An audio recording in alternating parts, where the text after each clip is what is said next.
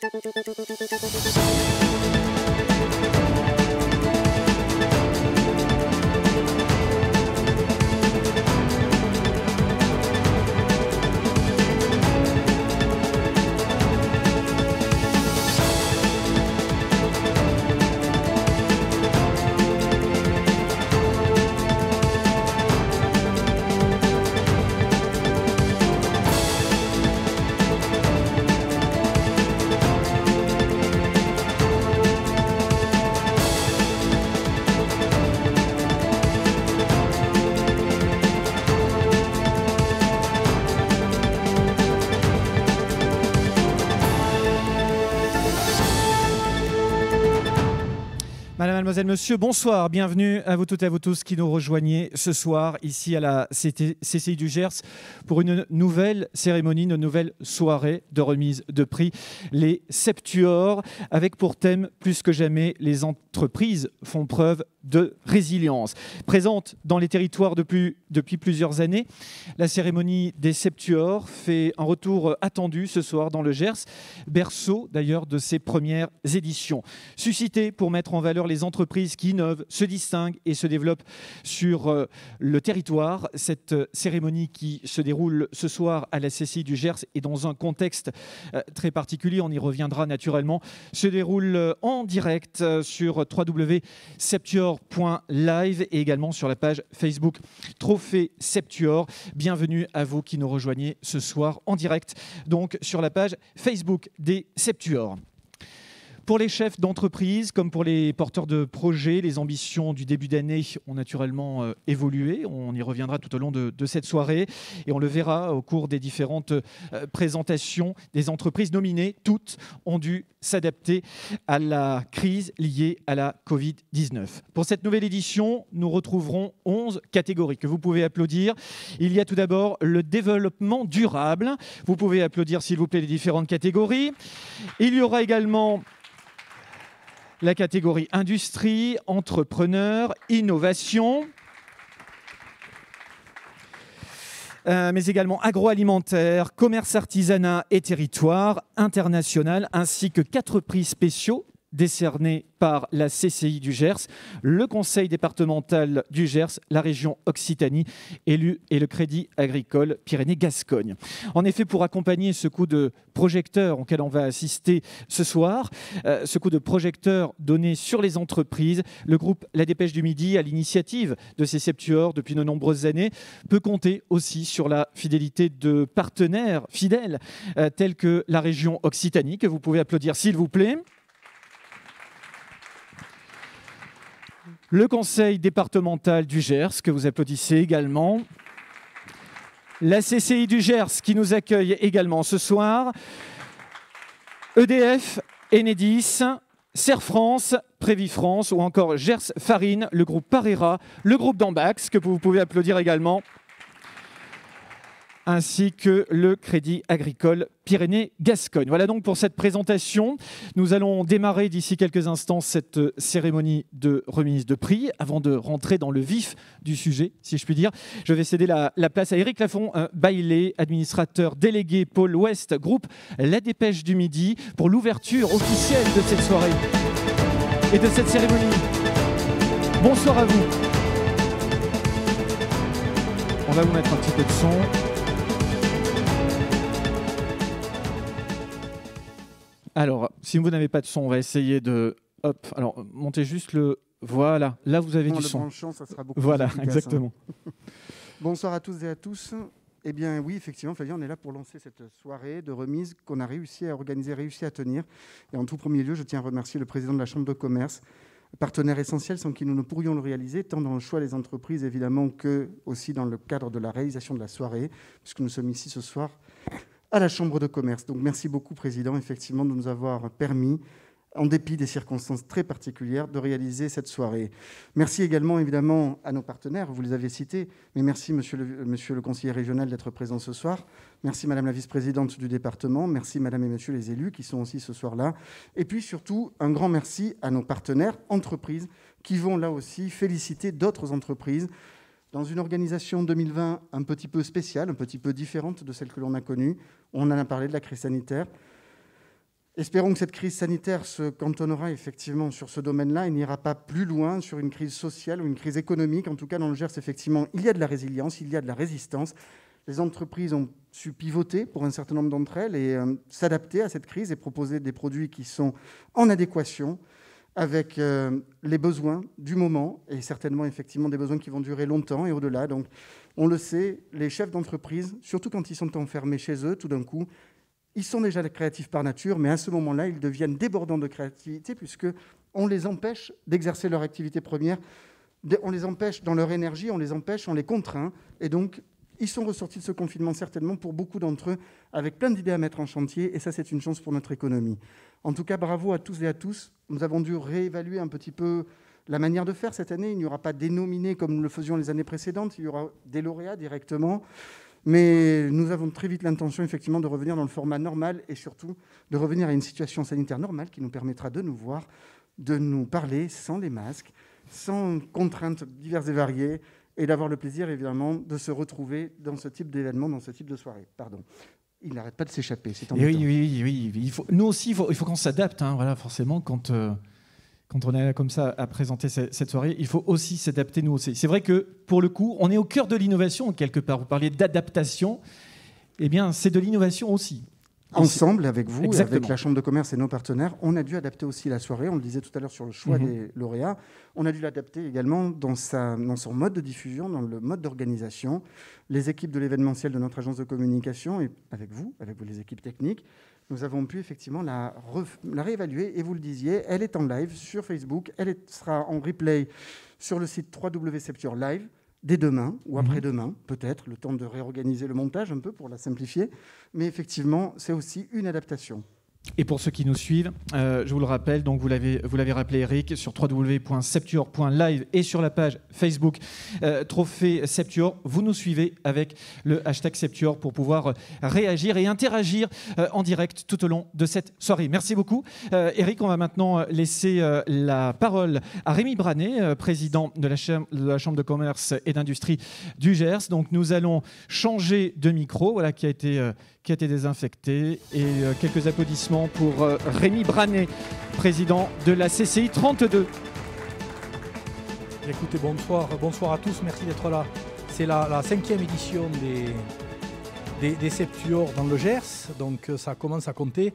C'est la première fois qu'on le fait sous forme de bal masqué. On espère qu'il n'y aura pas d'autres éditions. Voilà, alors on va quand même faire beaucoup de photos et on espère que ça deviendra vite des, des collectors. Alors, euh, simplement pour rappeler quand même la, rapidité à laquelle on est rentré dans ce, contexte, ce contexte Covid et ce contexte économique si particulier, euh, puisqu'en fait, ça remonte quand même il y a peu de mois, avec donc une phase de confinement qui nous est tombée dessus euh, de façon assez, assez violente. Et je vous expliquerai après le rôle qu'a été celui de, la, de, la chambre, de la Chambre de commerce et des services à, à ce moment-là. Donc cette première phase de confinement qui a été suivie après donc d'une sortie, on va dire, assez dynamique, plus dynamique pour les entreprises ou sur le plan économique qu'on s'y attendait. Euh, avec, euh, pour pas mal de secteurs d'activité, en fait, on a, réussi à compenser les, pertes d'activité qu'on avait pu enregistrer pendant le confinement. Donc, une espèce de petite période d'euphorie, on va dire, à l'été, qui s'est vite calmée à la rentrée, avec, euh, ben, avec une nouvelle inquiétude qui monte, une consommation qui tourne quand même au ralenti, euh, même si les entreprises sont aujourd'hui touchées de façon, assez, euh, de façon très variée. Et euh, aujourd'hui, la difficulté, surtout pour se projeter, les entreprises, pour fonctionner sereinement, ont besoin de pouvoir se projeter, de perspectives. Aujourd'hui, les perspectives, on en manque cruellement, puisque encore cet après-midi, l'ensemble des départements d'Occitanie ont été placés entre guillemets sous couvre-feu, à l'exception de trois départements uniquement, dont le nôtre, heureusement on va, va-t-on dire. Voilà, donc difficile aujourd'hui de, faire des, de, se projeter sur, le, sur l'avenir et, d'avoir, des, d'avoir aujourd'hui des perspectives. C'est poser la question effectivement de savoir s'il fallait euh, maintenir ou pas cette, cette cérémonie. Euh, ça reste un moment important et, l'objectif ce soir aussi est de mettre en avant et de récompenser des entreprises qui ont su par leur dynamisme et leur créativité affronter ce, essentiellement cette phase de confinement et l'après euh, voilà, donc il nous a semblé légitime de, de, ben, nous d'être là, présents aussi ce soir, euh, pour, souligner la dynamique des entreprises. Un mot sur le rôle de la, CCI dans tout ça. notre rôle a d'abord été et toujours celui d'être un guichet unique pour les entreprises ça à l'initiative et à la volonté du, Premier ministre Edouard Philippe à l'époque, qui nous a positionnés donc comme guichet unique pour, dans un premier temps, expliquer et déployer l'ensemble des dispositifs qui ont été mis en place par le, gouvernement en mesure de soutien. Ces dispositifs ont été multiples, ils existent encore, ils ont, ils évolué rapidement, et euh, grâce également aux informations que l'on a pu faire remonter de la part des entreprises pour signaler ben, les dispositifs qui étaient insuffisants, qui manquaient, etc. etc. D'où en fait des, dispositifs euh, évolutifs en permanence. On a très très mobilisés sur cette période-là. Nous le sommes aujourd'hui sur la mise en œuvre du plan de relance. De la même manière, avec euh, très focalisé actuellement sur le, plan de relance industrie et le plan de relance commerce, euh, qui va nous amener jusqu'à la fin de l'année. Et après, le plan de relance qui nous amène sur l'ensemble de l'année 2021. Là-dessus, souligner quand même que il peut se présenter aussi quelques opportunités pour le territoire, notamment une euh, sur laquelle euh, la Chambre essaie, de capitaliser euh, depuis déjà, enfin, avant, cette, avant cette, ce phénomène de, Covid, à savoir l'attractivité du territoire qui existe aujourd'hui. Alors, on a aujourd'hui, on est sur un territoire rural qui a des attraits, qui a de l'attractivité aujourd'hui pour des populations urbaines, périurbaines qui cherchent un autre cadre de vie. Euh, ce phénomène, c'est un phénomène qui se développe depuis maintenant un an et demi, deux ans, avec une sensibilité, on va dire, de plus en plus importante de nos concitoyens sur l'importance du cadre de vie, d'une alimentation saine, etc. On a également à faire valoir, évidemment, un cadre de l'immobilier pas cher et surtout, ce qu'on souhaite également mettre en avant, des entreprises dynamiques, un tissu euh, d'entreprises qui recrutent. Donc, on est en train de mettre en place une plateforme qui s'appelle le GERS Recrute. Donc, on viendra vers vous, euh, puisqu'il est très important que l'ensemble des entreprises du territoire soient mobilisées là-dessus. L'objectif étant d'aller chercher sur des territoires urbains, périurbains, des populations qui aujourd'hui veulent venir s'implanter sur les territoires ruraux et répondre aussi par la même occasion aux besoins de recrutement de nos entreprises. Voilà le message que je vous tenais à vous faire passer ce soir. Je vous souhaite une bonne soirée. Merci beaucoup. Rémi Branet, on vous applaudit. Voilà donc euh, pour euh, le démarrage de cette, euh, de cette cérémonie. Nous allons démarrer maintenant de manière totalement officielle cette cérémonie de, remise de prix en commençant par le premier prix. C'est le prix d'honneur du conseil départemental du Gers prix qui est remis par Philippe Martin, qui est représenté ce soir par Madame la vice-présidente du conseil départemental qui va nous rejoindre sur cette scène, Madame Lydie Toison, que vous applaudissez s'il vous plaît. Partenaire donc de ce prix d'honneur du Conseil départemental, euh, de ce prix du Conseil départemental du Gers. Avant que nous parlions un petit peu euh, ensemble et que nous découvrions euh, le lauréat de ce prix d'honneur, je vous propose de regarder quelques images.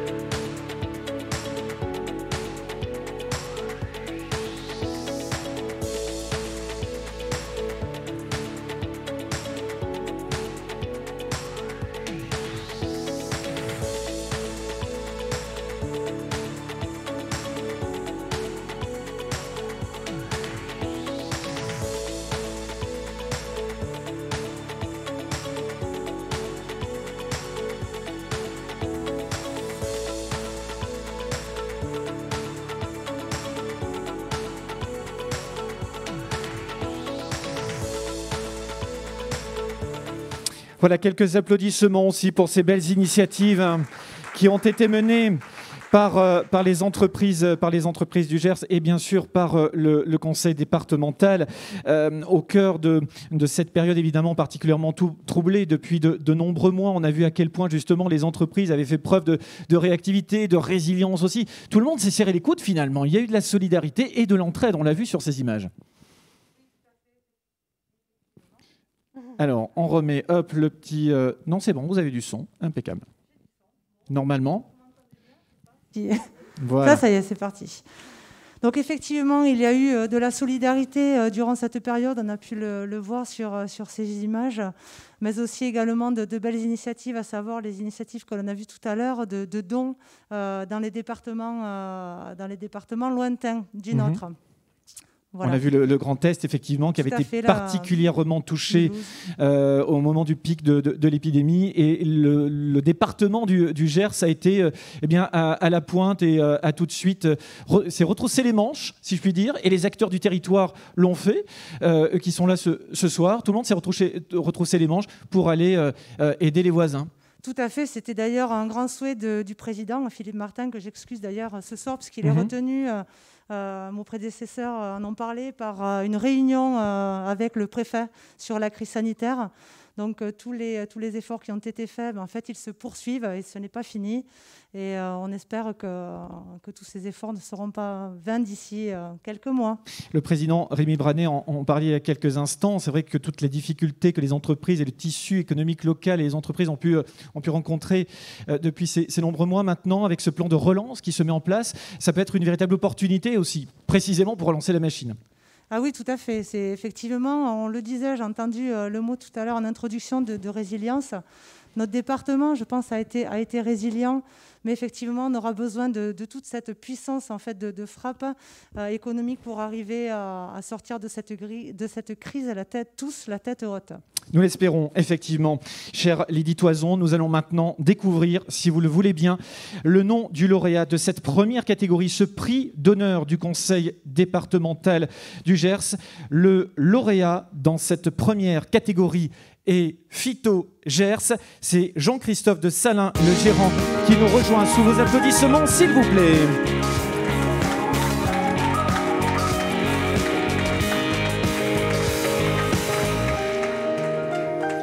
Prenez votre micro, Jean-Christophe de Salin, et vous allez vous mettre juste à côté. Bah, vous êtes le premier, euh, premier lauréat, donc pas loin des, des, trophées. Alors, on, a vu quelques images là il y a, il y a quelques instants. Voilà, vous savez que c'est un petit peu normé cette année, c'est un petit peu particulier. D'ailleurs, moi, je ne peux pas me rapprocher de vous. C'est moi qui ai l'habitude de beaucoup bouger sur scène, c'est un peu compliqué pour moi aussi.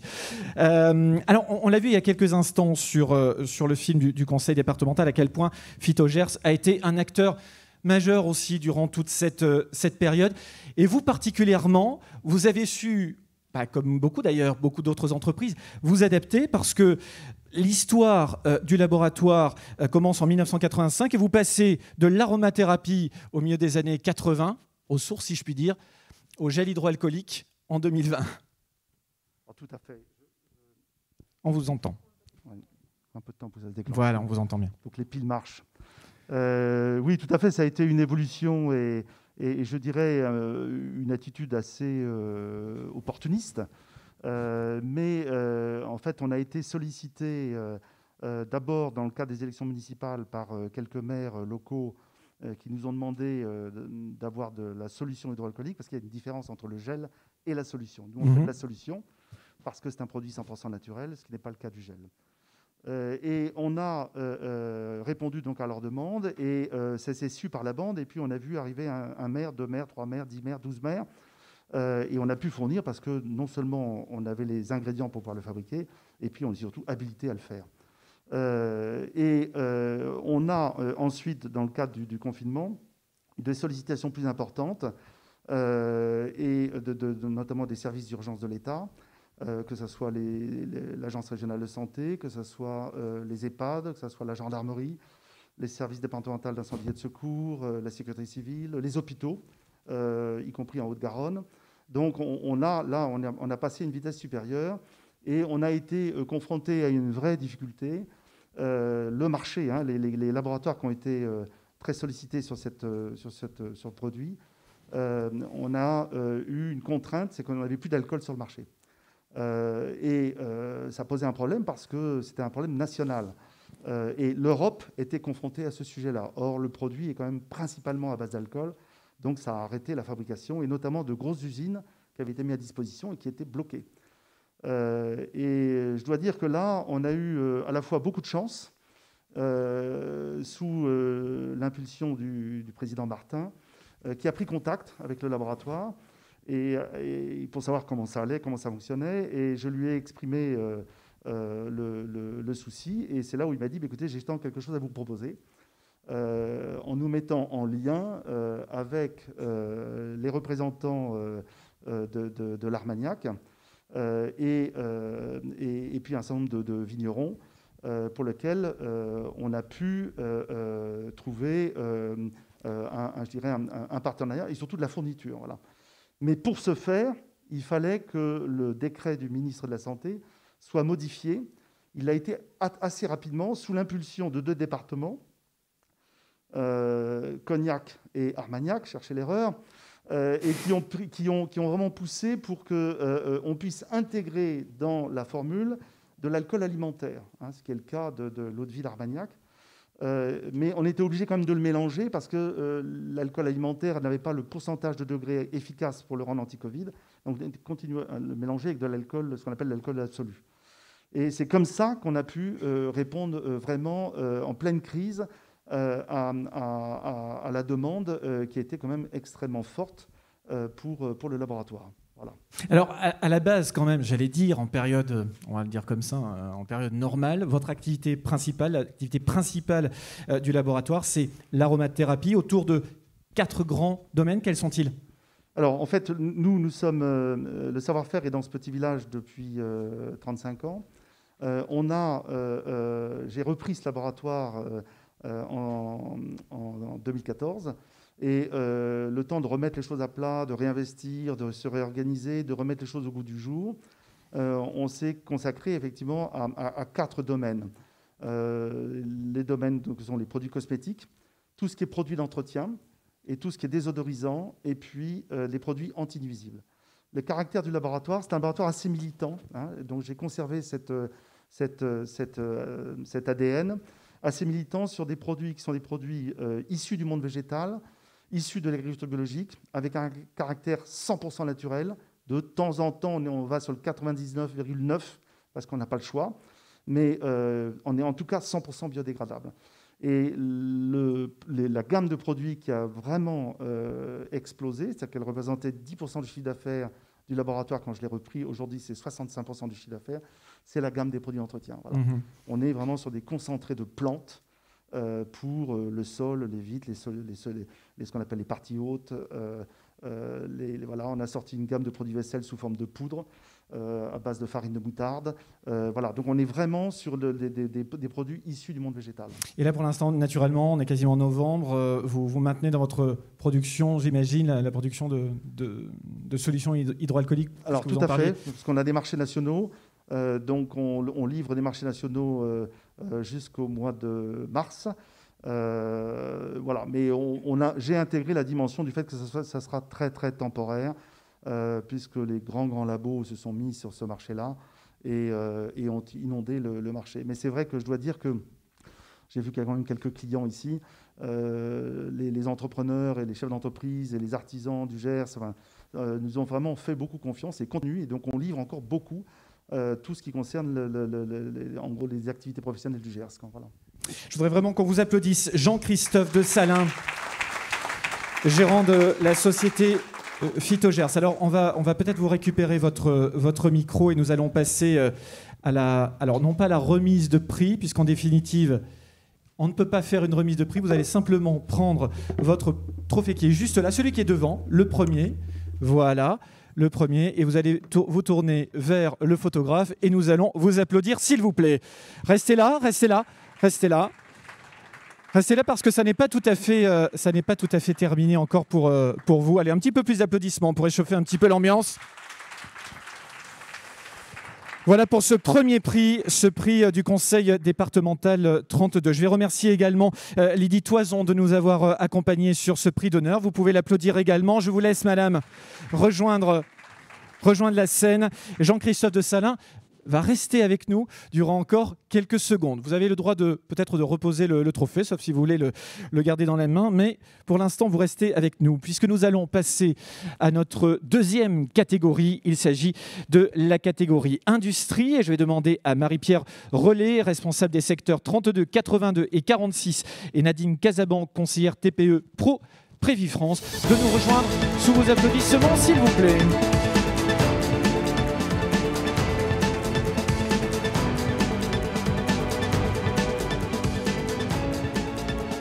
Allez, quelques images de Prévis France et on revient tout de suite.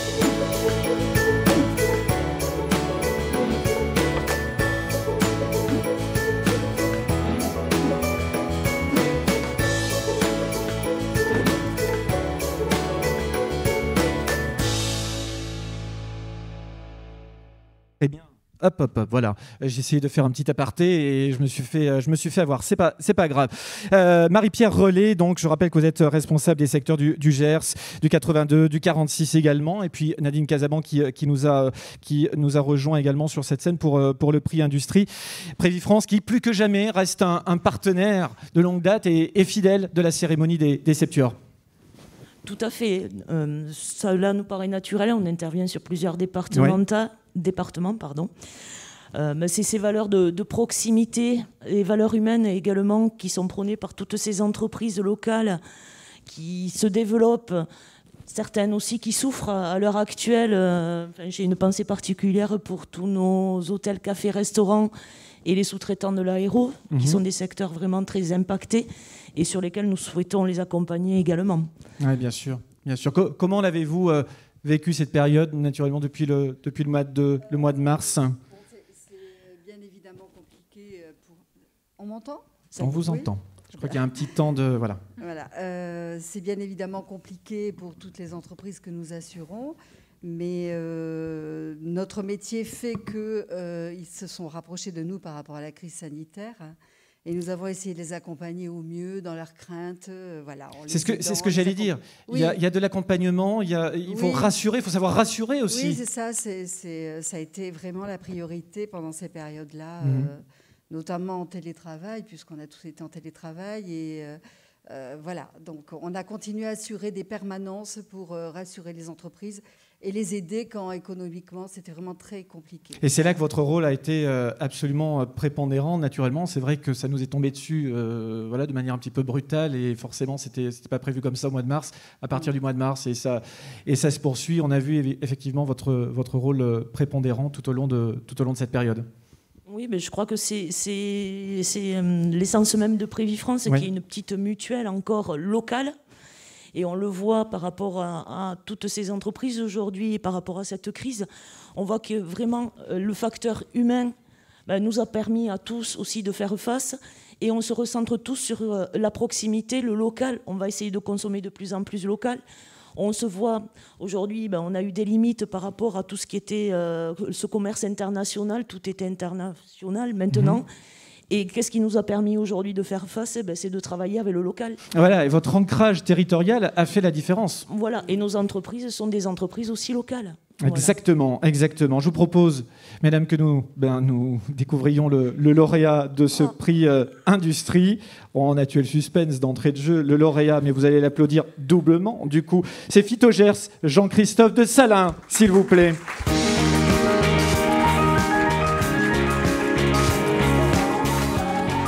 Avec cette fois-ci euh, quelques images de Phytogers.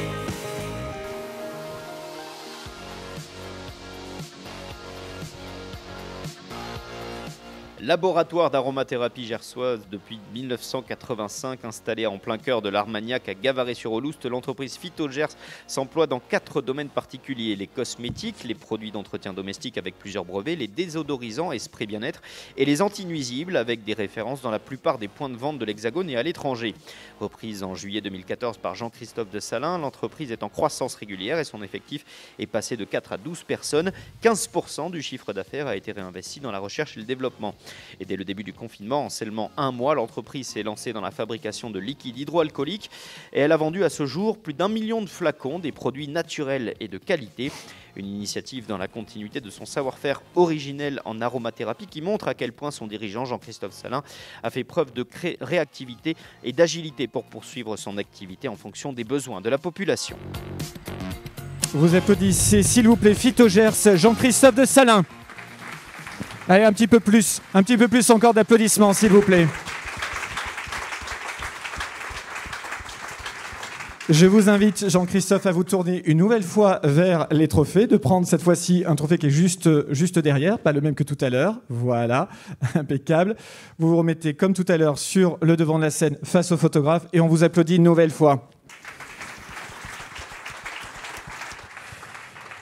Merci infiniment Jean-Christophe de Salin. Cette fois-ci, je vous, euh, je vous libère. Alors, vous pouvez prendre l'autre, euh, l'autre trophée. Voilà, les deux. Je vais remercier également Marie-Pierre Relais et Nadine euh, Casaban qui vont pouvoir rejoindre cette scène sous quelques, la salle sous quelques applaudissements. Merci à toutes les deux. Je rappelle que nous sommes en direct sur la page Facebook des Trophées des Septuors. Nous allons, euh, et vous réagissez, vous interagissez également en direct avec le hashtag Septuor32 tout au long de cette euh, cérémonie. Nous allons passer à la troisième catégorie, le prix commerce, artisanat et territoire. Notre troisième catégorie pour cette cérémonie.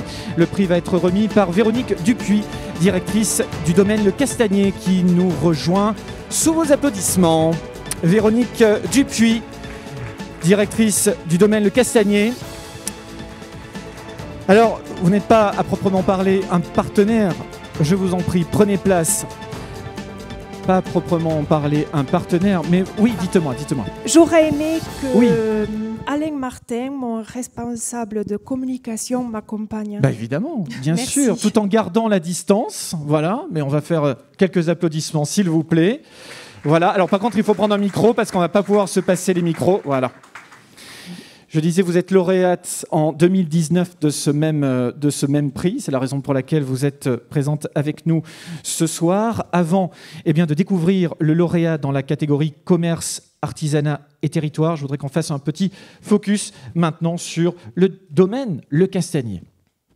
Bienvenue au domaine Le Castanier. Nous sommes le lieu idéal pour l'organisation de vos séminaires, journées incentives, ateliers collaboratifs ou tout autre événement d'entreprise. Le domaine Le Castanier s'étend sur 4 hectares. Nous vous proposons 3 salles de réception ainsi que 110 couchages sur place. Idéalement situé à moins de 10 minutes d'Auch et à 1 heure de l'aéroport de Toulouse, c'est en pleine campagne gasconne et dans un cadre unique que nous vous accueillerons. Quel que soit votre projet, nous sommes votre partenaire idéal. Nous nous occupons, avec vous, de toute la logistique de votre événement, du service traiteur à l'animation. Nous sommes à vos côtés pour que votre projet soit à la hauteur de votre entreprise. Pour promouvoir vos valeurs, fidéliser vos clients, renforcer la cohésion d'équipe, gérer le stress du travail, rien de mieux que les journées incentives ou de team building. Nous vous proposons toute une palette d'animations originales qui participeront au succès de votre événement. Choisir le domaine du castanier est un choix stratégique pour votre entreprise et valoriser son image. Pour tout renseignement et devis personnalisé, n'hésitez surtout pas à nous contacter. Domaine Le Castanier à Hoche, route de Toulouse. Nous nous ferons un plaisir de vous accueillir là où il fait bon vivre et bien vivre, le Gers. À bientôt. Voilà quelques applaudissements s'il vous plaît pour le domaine Le Castanier. Et pour Véronique Dupuis, Lauréate, donc, vous étiez lauréate de ce, de ce prix, euh, de ce prix l'année dernière, évidemment. Alors, comment ça s'est passé depuis le, début de, de, cette, euh, de cette année, au cœur de, évidemment de cette crise sanitaire? Comment on résiste? Comment on innove? Comment on, fait pour surmonter tout ça? Oui, effectivement, il y a eu trois mois d'arrêt, mhm. puisque euh, c'était euh, mars, avril, même juin même. Euh, on a repris donc juillet, août, septembre pour tous les événements et les mariages, et, et de nouveau à l'arrêt. Donc, avec Alain, durant notre, notre arrêt, durant le confinement, nous avons réfléchi à mettre des euh, stratégies en place euh, pour euh, essayer justement de, rebondir, les, hum, les, séminaires étant arrêtés, les mariages étant arrêtés. Parce que là, vous aviez, pardon, je vous coupe, vous aviez votre planning qui était plein, j'imagine, pour, toute la saison quasiment. De mars à novembre. Et quand d'un coup, on voit sur les plannings annulés, annulés, annulés, pour cause, c'est du report, heureusement. Les mariés nous, nous font confiance et reportent leur, leur mariage.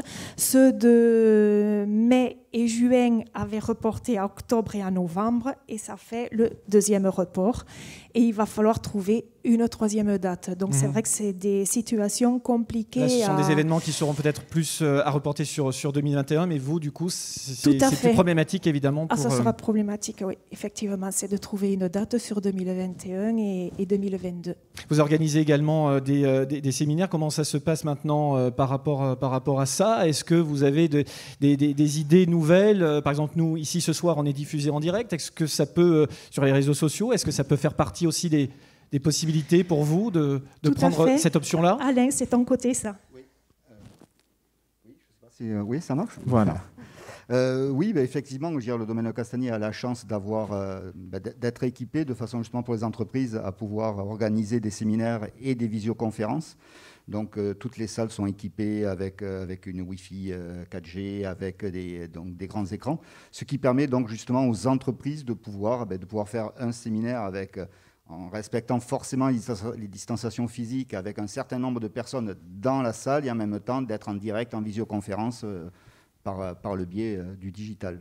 Moi, Yann, encore, je me pose une question quand même. Est-ce que finalement, pour une entreprise telle que la vôtre, euh, telle que la vôtre où vous faites de, la réception, des, séminaires, du réceptif, etc., est-ce qu'il n'y aura pas un avant et un après? Est-ce qu'on va revenir complètement aux images qu'on a, vues tout à l'heure? Au contraire, est-ce qu'on n'essaie pas de, se dire, ben voilà, il va falloir se, réadapter déjà pour se dire que peut-être ça ne sera pas tout à fait comme avant? Oui, mais il faut se réadapter. De toute façon, l'adaptation a déjà eu lieu pendant le confinement où euh, déjà le domaine de Castagnier a la chance, de, au-delà de, l'événementiel, de posséder de l'hébergement, ce qui implique ben, pendant le confinement, ben, forcément en sachant que tout allait s'annuler euh, dans l'été, ben, il, faut, il faut retomber sur ses pieds et dire ben, mhm. voilà, qu'est-ce qu'on, qu'est-ce qu'on va faire? Donc du coup là, à ce moment-là, on a développé, on a remis en avant les hébergements, on a développé grâce justement, ben, on a la chance d'être dans, une, dans un département qui est plutôt touristique et qui est agréable à vivre et à visiter.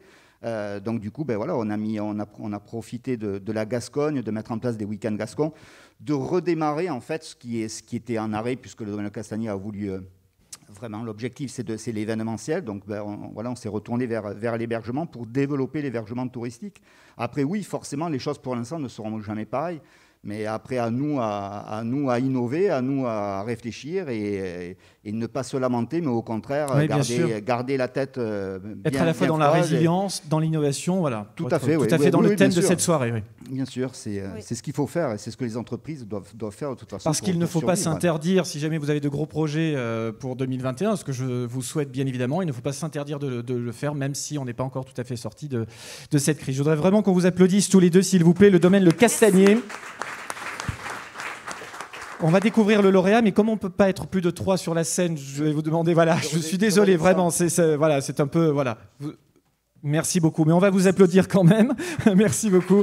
Merci de votre de votre participation. Nous allons donc découvrir, chère Véronique, et vous qui nous euh, suivez, le lauréat dans cette catégorie prix commerce, artisanat et territoire. Il s'agit de l'entreprise JOG, Jérôme Hureau, le dirigeant fondateur. Lauréat, vous l'applaudissez, il nous rejoint sur cette scène sous vos applaudissements, s'il vous plaît.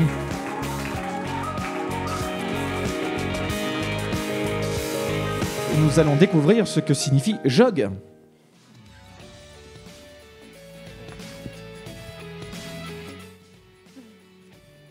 Créé par Olivier Gérassi et Jérôme Hureau, étant la contraction de leurs deux noms, Jog, né entre la Savoie et le Gers, entend bien se faire un nom dans le domaine des vélos à assistance électrique. L'objectif pour les deux compères était de concevoir et vendre des vélos cargo et des remorques dédiés aux professionnels, de sorte à créer des cycles utilitaires pour les entreprises.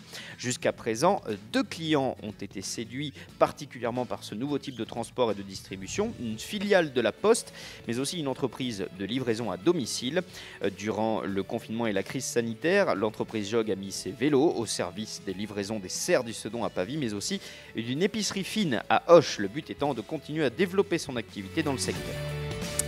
Vous applaudissez s'il vous plaît l'entreprise Jog et Jérôme Hureau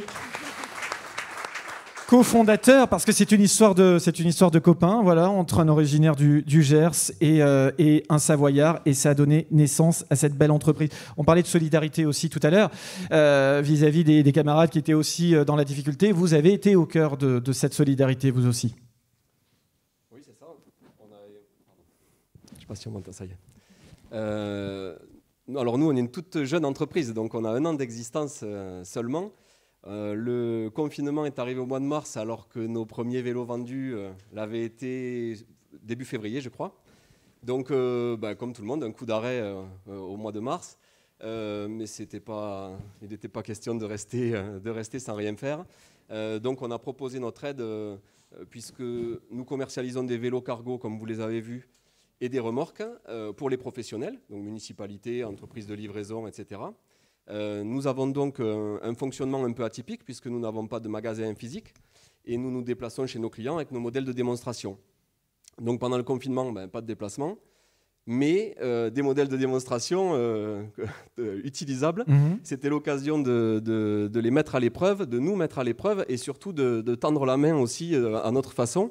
et notamment, le premier à l'avoir saisi, c'est Mathieu Carté avec les, au, Cerf du Cédon, donc c'est une entreprise horticole, pour effectuer les livraisons directement chez les particuliers qui passaient leurs commandes, mais qui ne pouvaient pas aller les retirer au Cerf. Donc, les livraisons longue distance étaient faites avec un, petit camion euh, par les serres du Cédon. Et puis, euh, moi, j'étais sur le vélo avec les remorques. On a vu quelques photos qui l'illustrent euh, pour aller livrer. Alors, c'était sur la commune de Pavie, puisque forcément, avec ce, genre d'outils qui sont certes très plaisants, mais les, on est plus efficace sur des, courtes distances, forcément.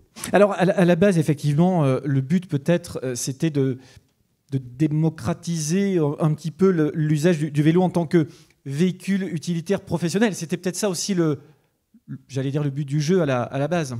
Oui, en tout cas, c'est là que nous, on, s'est senti le plus capable d'apporter quelque chose à ce marché du, vélo. Euh, parce que le, monde du vélo explose, dans le bon sens du terme, euh, depuis quelques petites années. Euh, et encore plus depuis le, confinement. Euh, mais c'est surtout le, vélo euh, à destination des particuliers, loisirs, sport ou. Or là, on est orienté professionnel. Et là, nous, on a fait un choix vers les professionnels en tant que véhicule utilitaire, en tout cas, qui permettent de remplacer des, véhicules à moteur thermique. Alors, il y a plein de, bonnes raisons, qu'elles soient environnementales, stationnement, circulation. éthique, philosophique, il y a plein de bonnes raisons qui, peuvent séduire aussi les professionnels. On pense même que les professionnels seront les, premiers ambassadeurs, parce que ce genre de vélo, alors on est venu, euh, puisque mon, mon, cher acolyte euh, Olivier Gérassier est au fond de la salle, on est venus tous les deux avec euh, chacun un vélo cargo, ils sont, devant ils sont devant la chambre de commerce, donc si ça vous tente d'aller les regarder, vous verrez. On les a croisés, les gens s'arrêtent, il faut ça, oui, oui, forcément, ça, ça, ça attire l'œil, forcément il y a un aspect communication qui est non négligeable. Bien sûr, bien sûr. Et puis vous l'avez dit également, euh, ce qui est important et vous l'avez euh, vous l'avez rappelé, c'est que votre entreprise nourrit justement cette euh, cette vraie philosophie liée à l'environnement, parce que c'est important, c'est aussi également des, des sujets précisément très très importants de, de, nos jours. Tout à fait. On est dans une région rurale. Alors au premier abord, on peut se dire, ouais, ce genre de solution, c'est d'abord pour les grosses villes et les grosses métropoles. C'est pas faux. C'est les premiers à, à franchir le pas cela, dit, cela dit, peut-être que dans les grandes métropoles, c'est pas super aisé aussi, euh, vu la circulation et les, dangers qu'il peut y avoir aussi hein, dans, dans, les grandes, dans, les grandes agglomérations. Ouais, néanmoins, l'aspect circulation et stationnement est tellement un problème que, là, ça, trouve tout son sens, que ce soit pour des entreprises de livraison, mais même pour des artisans, des plombiers, des dépanneurs qui, qui, trouvent leur bonheur avec ce genre de matériel. Et Olivier habite Chambéry, moi je suis sur Roche, euh, on est persuadé que dans nos villes de taille moyenne, avec un peu de, volonté politique aussi pour aider dans le sens des infrastructures. Euh, on est persuadé qu'il y a quelque chose à faire dans les, villes de taille moyenne et la preuve à, petite échelle pendant le confinement. Voilà, le, vélo, ce n'est pas que pour euh, le particulier ou les particuliers, c'est aussi pour, pour les professionnels, pour toutes les raisons qu'on vient d'évoquer. Je voudrais vraiment qu'on vous applaudisse une nouvelle fois, s'il vous plaît, Jérôme Hureau, l'entreprise Jog. Vous allez redonner le micro à notre hôtesse, vous allez vous tourner vers le septueur juste derrière vous, vous allez le, prendre, allez-y, prenez-le, face à la photo, face à la salle, sous vos applaudissements, s'il vous plaît. Merci à vous et je vais vous libérer euh, tous les deux. Vous pouvez euh, regagner cette salle sous quelques applaudissements, tandis que nous allons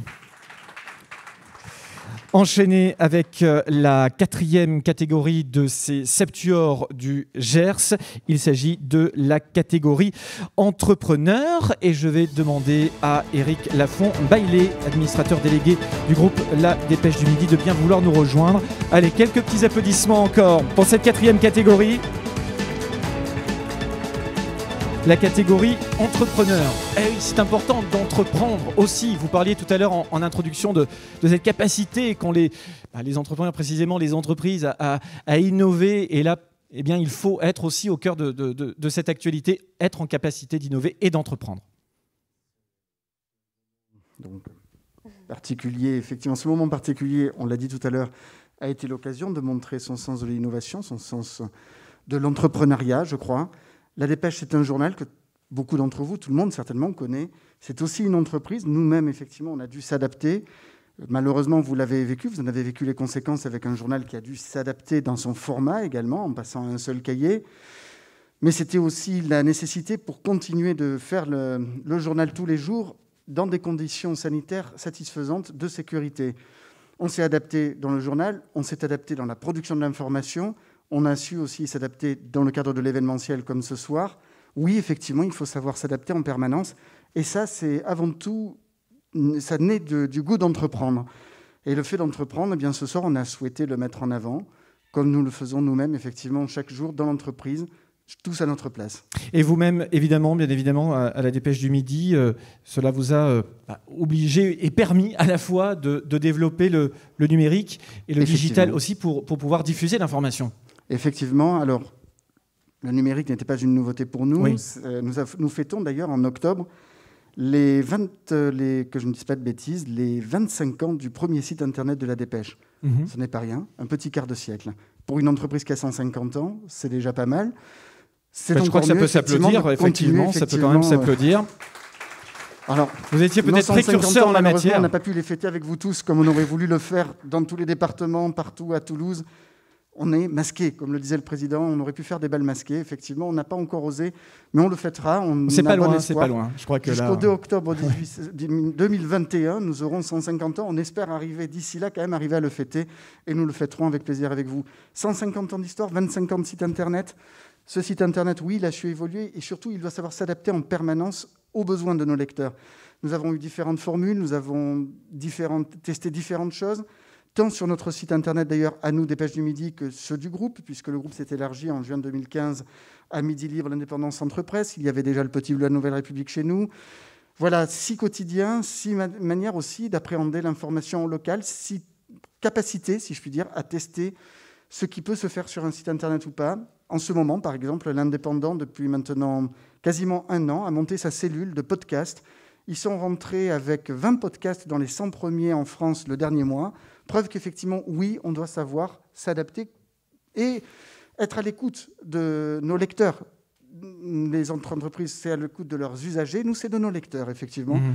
Et les accompagner dans leurs besoins, que ce soit le matin au café pour lire le journal papier, que ce soit dans l'entreprise pour lire les informations qui seront si capitales, effectivement, pour faire bien sa veille, que ce soit personnellement, lorsque je regarde mon smartphone pour avoir les dernières informations, et elles sont positives pour le GERS, effectivement, le président le disait tout à l'heure, c'est une bonne chose, et qu'elles soient aussi vocales demain. Nous faisons de la vidéo, nous produisons plus de 180 vidéos par mois.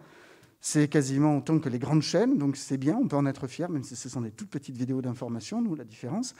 Et maintenant, effectivement, l'audio, le podcast, la voix, oui, on va porter, on va continuer de porter, de s'adapter. Pendant le confinement, notre audience sur Internet a été multipliée par quasiment 5, ce qui mhm. est le fait de tous les titres de presse, à peu près, entre 4 et 5 pour tous. La particularité chez nous, c'est qu'encore aujourd'hui, on a su en garder près de la moitié. Nous avons, le mois dernier, et nous avons bon espoir encore ce mois-ci, de dépasser le cap des 50 millions de visiteurs par mois sur notre site. Ça en fait, vous pouvez en être fier aussi, le premier site de votre région, Occitanie, la première plateforme d'information de cette région. Et ça, c'est à nos lecteurs qu'on le doit, c'est aux journalistes qui font continuellement le travail, c'est aux équipes numériques qui savent le mettre en ligne, qui savent l'adapter, le format et le pousser vers les lecteurs de la manière la plus intelligente possible. Et toutes ces équipes... Il ne nous a pas échappé que les GAFA contrôlent aussi eh effectivement ce que nous lisons. Donc, il faut savoir s'y adapter. Et, toutes ces équipes et tous ces journalistes qui ont continué de, travailler aussi pour maintenir le, lien avec, avec les lecteurs, toutes ces, toutes ces, personnes aussi, certaines d'entre elles étaient très isolées. Je crois qu'on peut applaudir aussi toutes les équipes de journalistes et de, et de, techniciens qui ont continué, vous pouvez les applaudir, qui ont continué à travailler euh, tout, au long de, tout au long de cette période.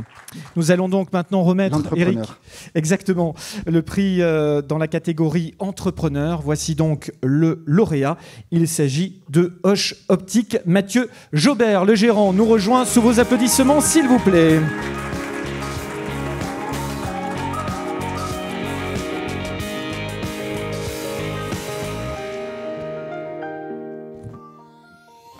Bonsoir à tous.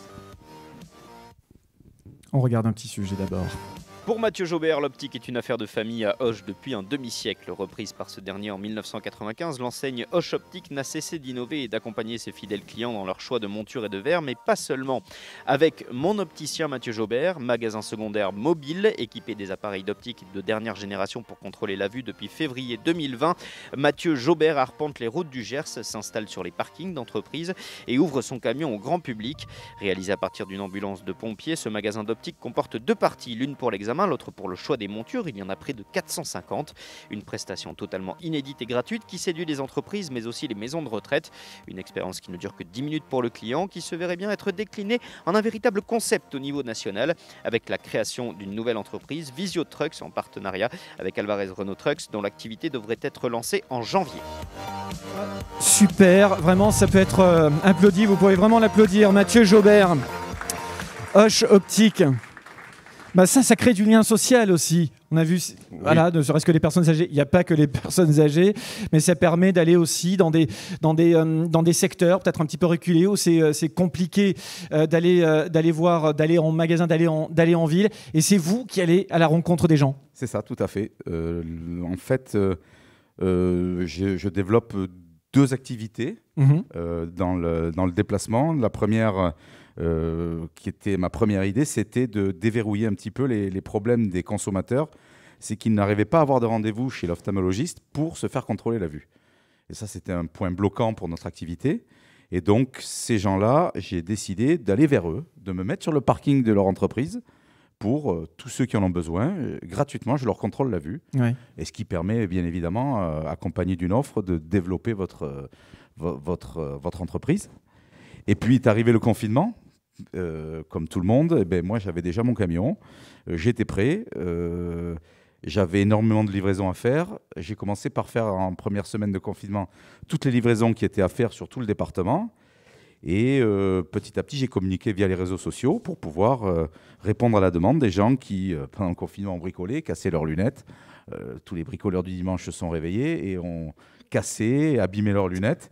Et du coup, j'ai eu énormément de demandes et je me suis déplacé sur tout le département pour euh, répondre le, confinement a eu du bon finalement, ah, quelque part. Euh, voilà. En tout cas, il vous a pas fait de mal, tant mieux. C'est ça, il faut s'adapter. Et puis pendant le confinement, euh, j'étais dans mon camion à faire de, de, beaucoup de kilomètres, tout seul, sur ces routes désertées. Et, du coup, j'ai eu l'idée de, en fait, de développer ces camions. Et donc, je suis en train de mettre en place une nouvelle entreprise qui s'appellera Visiotruck qui s'appelle Visiotruck. Euh, le concept a été, déposé, donc euh, je suis en train de la, de la créer petit à petit pour fabriquer des camions que je vais essayer de vendre au niveau national. Ouais, c'est ça. Tous les opticiens de, de, l'Hexagone, hein, c'est ça. Qui veulent se développer. Oui, exactement, exactement. Et ça, c'est une, bah, pour le coup, c'est une, c'est une très très bonne idée que vous avez pu, euh, que vous Et cette entreprise sera gersoise, bien entendu. Bien sûr, bien sûr, ça sera Made in Gers, ça c'est, ça c'est obligatoire. Comment, comment les gens ont, ont réagi quand ils vous ont vu euh, arriver euh, oh, avec, euh, votre, votre camion J'ai attiré énormément de sympathie. J'imagine, oui. Ma femme en est témoin. Je, revenais tous les soirs avec un poulet, ah des légumes, des fromages. C'était vraiment très, ça très, C'est ça qui est sympa, finalement. Ah vraiment, de, joindre l'utile à l'agréable, comme on dit. Alors, le, principe, c'est quand même assez court pour revenir dans le cœur du sujet, au cœur du sujet. Oui. C'est 10 minutes, c'est ça Oui, c'est ça. Un contrôle de vue.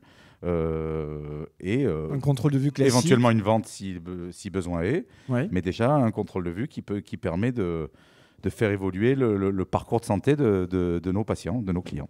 Mathieu Jaubert, Hoche Optics, sous vos applaudissements, s'il vous plaît. Je vous propose eh bien, de prendre votre prix juste derrière vous. On va vous applaudir une nouvelle fois. La photo Juste en face de vous, vous applaudissez Mathieu Jobert, Hoche Optique. Merci beaucoup. Merci à Mathieu. Merci également à Eric Lafont Bailey. Nous allons passer maintenant à notre cinquième euh, catégorie. On poursuit cette euh, cérémonie de remise de prix. Je vous rappelle que vous continuez de nous suivre en direct sur le site internet des Septuors, sur la page Facebook également des Septuors du Gers. Et vous réagissez avec le hashtag Septuors 32. Place donc maintenant à notre cinquième remise de prix. C'est le prix innovation et c'est Monsieur Patrick Castex, directeur de région du groupe Serre France, qui va nous rejoindre sous vos applaudissements, s'il vous plaît. Bienvenue à vous, Patrick Castex. Avant de découvrir le lauréat, avant de parler un petit peu de Serre France tous ensemble, quelques images. Tout d'abord, Thibault. Serre France, c'est une communauté d'entrepreneurs gagnants. Claire a toujours rêvé d'être fleuriste. Grâce à son conseiller Serre France, qui l'a aidé à faire son business plan et à choisir son statut, elle a pu ouvrir sa boutique. Clément, lui, s'est lancé dans un nouveau projet de méthanisation. Grâce au conseil d'un spécialiste énergie et à l'intervention d'un juriste, le nouveau projet de Clément est suivi à chaque étape. Quant à Sonia, elle est débordée par sa paperasse. Depuis qu'elle utilise Serre France Connect, qui regroupe son espace client, son coffre-fort numérique et ses services en ligne, elle a réussi à moderniser sa gestion. Sonia a maintenant plus de temps pour s'impliquer dans son métier. Depuis un moment, Gérard souhaite trouver un associé et développer son activité avec l'acquisition de nouveaux matériels. Avec Serre France Avantage et sa communauté de 320 000 entrepreneurs, il a pu agrandir son réseau professionnel. Il bénéficie de réductions exclusives dans une centrale d'achat. Il dispose même d'un CE pour ses salariés et apprentis. Chez Serre France, tous les clients sont adhérents et chacun peut participer aux décisions. Certains décident d'aller plus loin, comme Christophe. Parce qu'il croit dans les valeurs mutualistes, il est élu président et s'investit dans l'avenir de Serre France. Depuis 60 ans, avec ses agences de proximité partout en France, Serre France est le partenaire privilégié de la performance des chefs d'entreprise. Serre France, entreprendre ensemble. Voilà quelques applaudissements pour Serre France, euh, partenaire de cette cinquième catégorie, le prix euh, innovation avec vous, Patrick euh, Castex. Évidemment, vous aussi, vous avez dû vous adapter comme, comme tout le monde, bien entendu, et savoir eh bien d'impulser de nouvelles idées. Tout à fait, c'est bon, ça marche. Donc effectivement, quand on a vécu le confinement, heureusement, on était préparé, c'est-à-dire que tous nos collaborateurs étaient équipés d'ordinateurs portables et de téléphones portables. Mhm. Ce qui fait que tout le monde est rentré chez soi, mais on a pu continuer à travailler pour nos clients, mhm. à rester en lien avec eux. On a même développé des choses numériques qu'on on avait prévues dans les cartons et qu'on a dû sortir au dernier moment. Donc ça nous a permis d'avancer également. Mais le but, c'était d'être présent parce que c'est vrai que la période était très compliquée et on était beaucoup sollicités. Et vous avez été euh, bien sûr très, très réactif, euh, à l'écoute et, euh, et, présent. Oui, beaucoup, parce que comme je vous dis, déjà, ne serait-ce que de discuter avec eux pour les rassurer, c'était important.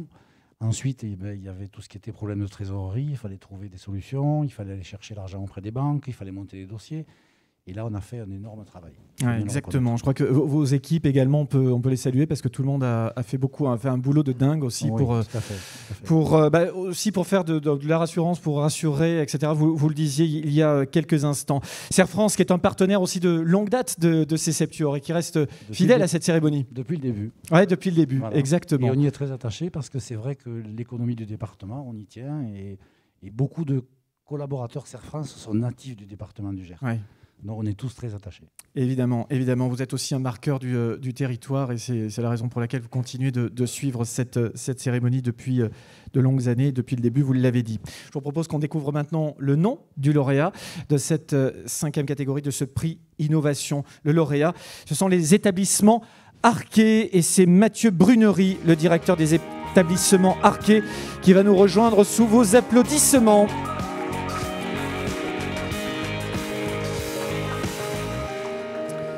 Allez, quelques images et on vous passe la parole.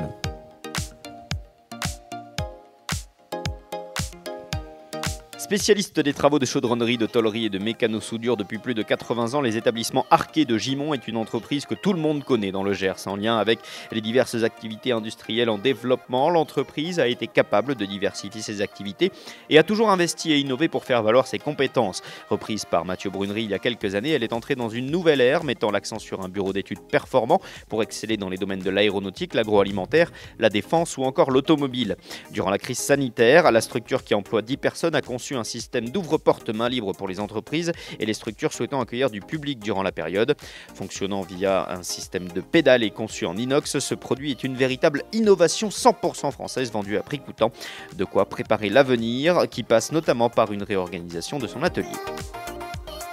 Vous applaudissez s'il vous plaît les établissements Arquet et surtout Mathieu Brunery, son, directeur. Alors on l'a entendu dans, le, sujet de, Pierre Maël, notre rédacteur en chef. Euh, eh bien vous avez su vous aussi précisément être à la pointe de, l'innovation. Euh, cette entreprise qui a fait parler son savoir-faire en mécano-soudure précisément avec ce fameux système d'ouvre-porte main libre. Est-ce que vous pouvez nous en parler un petit peu plus dans le détail? Alors il y a un tout petit temps de latence, mais c'est normal, voilà. Alors juste, il faut peut-être euh, allumer le, micro en bas, alors on va s'en sortir. Voilà, on va laisser une seconde, deux secondes, et ben voilà, on vous entend, c'est parfait. C'est bon. Donc on, parle de ce, de ce système innovant euh, Oui, tout à fait. Donc c'est euh, tout simplement pendant le, pendant le confinement, les établissements marqués étaient, étaient ouverts, on n'était pas confinés. il faut imaginer qu'on a 1200 mètres carrés d'atelier, on est mhm. une équipe d'une petite quinzaine de personnes. Euh, donc, euh, déjà, bah, je tiens à féliciter mes, équipes qui ont su se mobiliser pour venir au quotidien. Et on n'était cependant pas sur des marchés euh, stratégiques pour l'État. On travaille certes pour l'agroalimentaire, pour l'automobile, l'aéronautique, la serrurerie, mais on cherchait un sens, un peu une idée pour, pour essayer d'aider aussi le, pays à notre, à notre façon.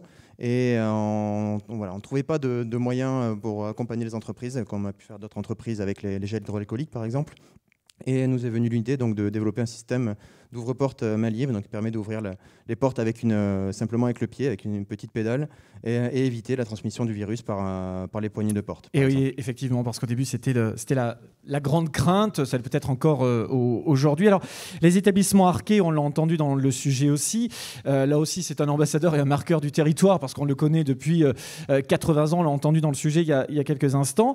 Donc, vous avez su allier finalement histoire, histoire et innovation, finalement passé et futur. Le, Disons que j'ai racheté l'entreprise il, y a six ans aujourd'hui, donc en juin 2014. Euh, et euh, depuis six ans, on a cessé de se, développer, d'innover, euh, d'être agile, d'investir énormément dans les moyens de production comme la découpe laser, de mettre énormément en avant aussi le côté sécuritaire et, et vraiment le, respect de, l'être humain avec des fumées d'aspiration de soudure. Beaucoup de choses qui sont rarement faites euh, à l'image d'une petite entreprise.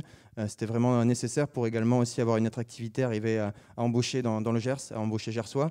Euh, donc en l'espace de 6 ans, on a doublé nos effectifs, presque triplé même aujourd'hui. Et voilà, on avait, on avait à cœur vraiment de de, développer l'entreprise et d'innover, toujours se développer. Euh, on le voit beaucoup d'entreprises aujourd'hui qui étaient monomarchés, peut-être sur l'aéronautique ou sur tel ou tel marché. Euh, ça n'a pas été notre cas. Ma stratégie depuis six ans était claire, c'est diversifier au maximum, être présent sur euh, tous les marchés. Donc certes, ma part d'aéronautique aujourd'hui a un petit peu baissé, mais les autres marchés sont encore là et nous permet de, voir un petit peu l'avenir plus sereinement sûrement que d'autres. Vos principaux clients en France, en Europe, à l'international, comment ça se passe là pour l'instant en, France, dans tous les cas, la mécano-soudure en général est plutôt faite en France. Euh, sur la partie serrurerie, c'est plutôt au niveau local, mais après au niveau de l'industrie automobile, ferroviaire, euh, c'est sur toute la France. La grosse plus-value, évidemment, lorsque vous avez repris cette entreprise, c'est de doter cette entreprise d'un bureau d'études, ce qui permet de, phosphorer en, permanence. Voilà, tout à fait. dans nos entreprises, en mécano-soudure, quand j'ai acheté, il y avait cinq personnes. Mhm. Euh, en général, on travaillait à peu près sur de l'artisanat. Aujourd'hui, on est vraiment sur, sur, une petite industrie, une TPE encore, mais on arrive à proposer une offre euh, complète euh, de l'étude, de la fabrication, de l'accompagnement, beaucoup de services également. Et, euh, donc, du coup, ça, voilà, ça m'a permis de développer petit à petit l'entreprise. Merci beaucoup, Mathieu Brunery. on vous applaudit. Si vous permettez, si vous permettez pardon, excusez-moi, je voulais déjà bah, féliciter mes équipes parce que bien le sûr, était, était, très compliqué et également avoir une une pensée très émue pour notre chef d'atelier, Jean-Louis Da Silva, qui est décédé cet été, au mois d'août, de mhm. façon très brutale. Donc, sortie du confinement et tous les, toutes les péripéties qu'il peut y avoir pour une entreprise comme, comme la nôtre d'une quinzaine de personnes, euh, doublée avec cet événement tragique. Euh, voilà, je tiens encore bah, à féliciter mes, mes, équipes pour leur, voilà, pour euh, leur soutien et leur aide aujourd'hui. Vous savez quoi? On va applaudir vos équipes et on va applaudir également votre collaborateur en sa mémoire.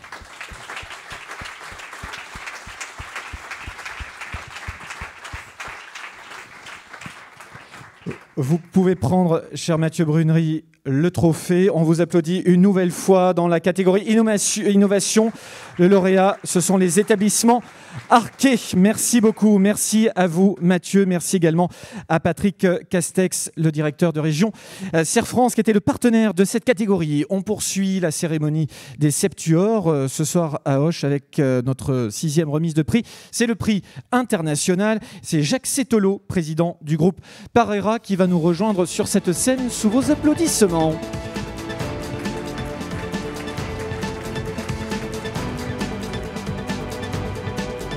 Bienvenue à vous. On va parler de Parera en, images. Allons-y. Ensuite, on va découvrir bien sûr le, lauréat de cette catégorie.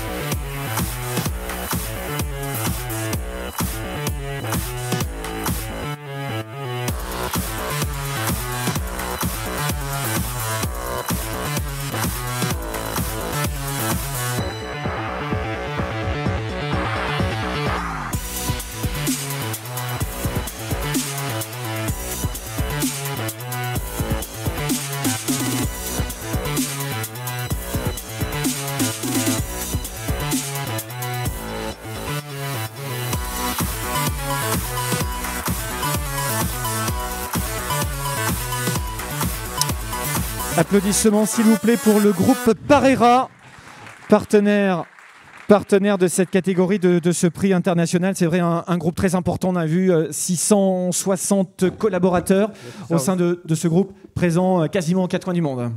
Oui, c'est ça. On est présent en France, vous l'avez vu, euh, ben, le siège est à l'île-Jourdain, donc chaque soir. on a une agence à Toulouse, une à Clermont-Ferrand, une à Rennes, une à Troyes, une à Paris et dans les dom Martinique, euh, Guadeloupe, euh, l'île de la Réunion et Guyane. Et sur l'export, on est une filiale à Madagascar, 100 personnes, mhm. et une agence en Côte d'Ivoire à Abidjan. Euh, vous l'avez dit, donc, vous l'avez dit évidemment, le, siège est ici, rayonnement, rayonnement mondial, même pour les entreprises de, de, votre taille. Forcément, il a fallu aussi trouver les bonnes idées au bon moment pour faire face à la période que nous vivons. Oui, bien sûr, on ne s'est pas préparé. On s'est réveillé un matin euh, avec les 150 personnes qui n'avaient plus de travail, qu'il fallait, il fallait confiner.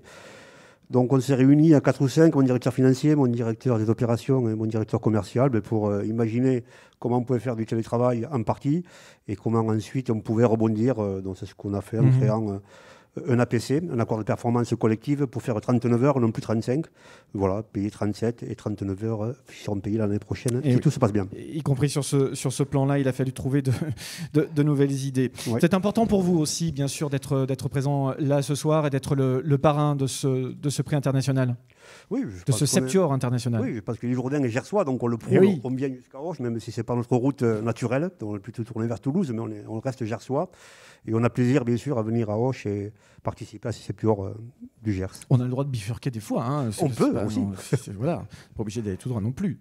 Nous allons découvrir si vous le voulez bien, euh, le lauréat dans cette catégorie. Le lauréat est Positronique. Stéphane Belline, le président, nous rejoint sous vos applaudissements, s'il vous plaît.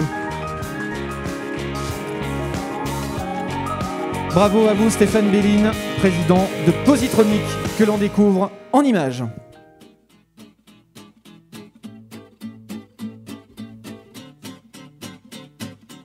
Conceptrice de connecteurs électroniques qu'elle vend dans le monde entier, l'entreprise Positronic est l'une des usines phares de la ville d'Auch. Son savoir-faire dans le marché de la connectique lui permet d'employer sur son site plus de 110 personnes.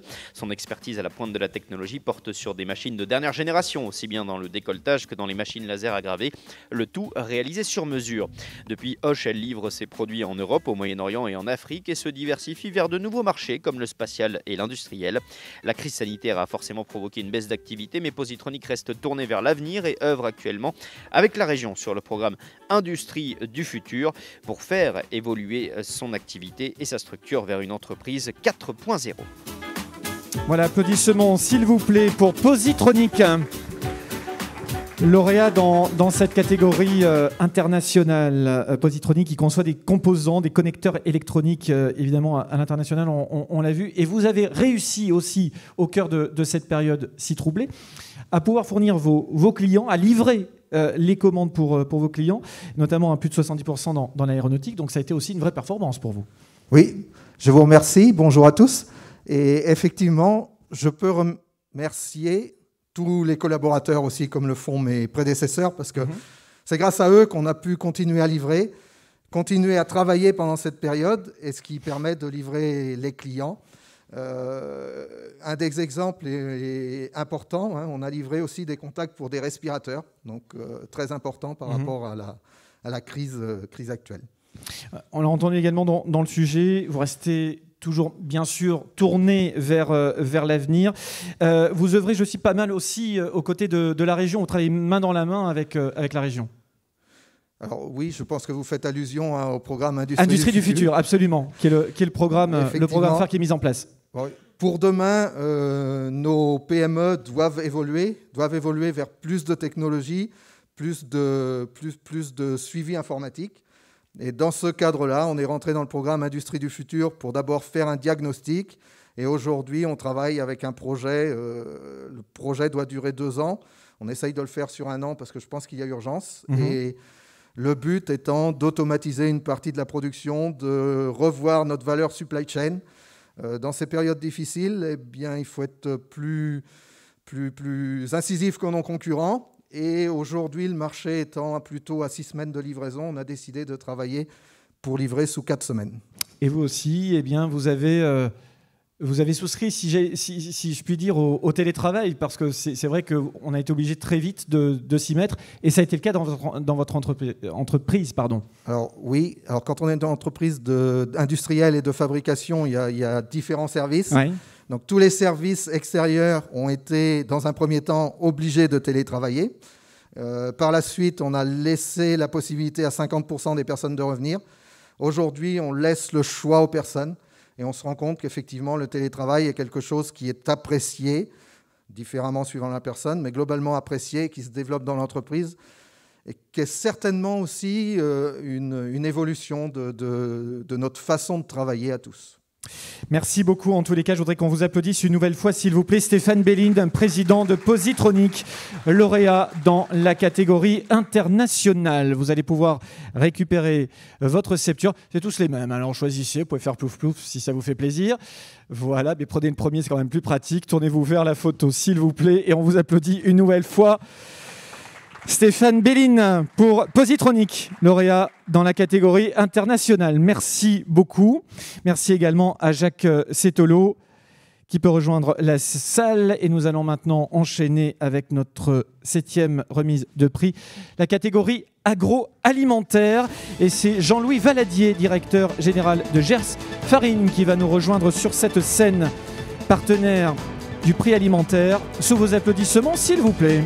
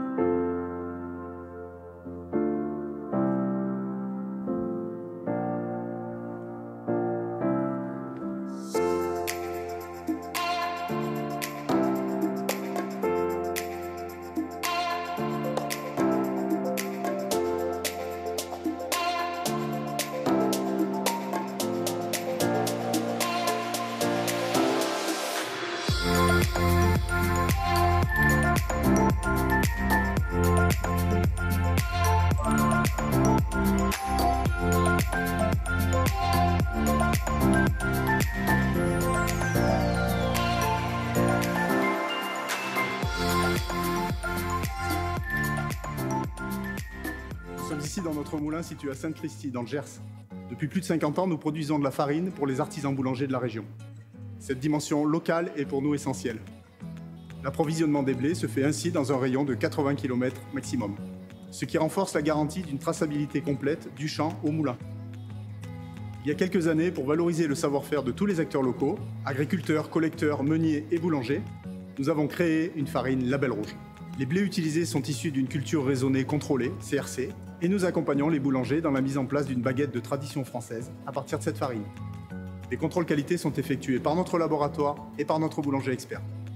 Cette baguette est très appréciée des consommateurs qui favorise par leur achat l'emploi local et la pérennité de nos savoir-faire. Quelques applaudissements, s'il vous plaît, pour euh, Gers Farine, partenaire de ce prix agroalimentaire avec vous, euh, Jean-Louis Valadier. On va rentrer peut-être un petit peu plus dans le, dans, le détail. Présentez-nous cette, cette, entreprise, son ancrage aussi euh, territorial. Bien, bonsoir à tous. Gers Farine est une filiale du groupe Val de Gascogne, vous l'avez vu, située à Sainte-Christie. Et c'est assez simple, tout est dans le nom. On fait de la farine dans le Gers. Mhm. on travaille sur 14 départements, donc Occitanie et puis euh, Nouvelle-Aquitaine. Euh, c'est 70 employés et en gros, nous avons 700 clients boulangers sur ces 14 départements. On travaille aussi avec la GMS, grande et moyenne surface, les fournis de la GMS, et quelques industriels de la panification qui vont faire des pains surgelés.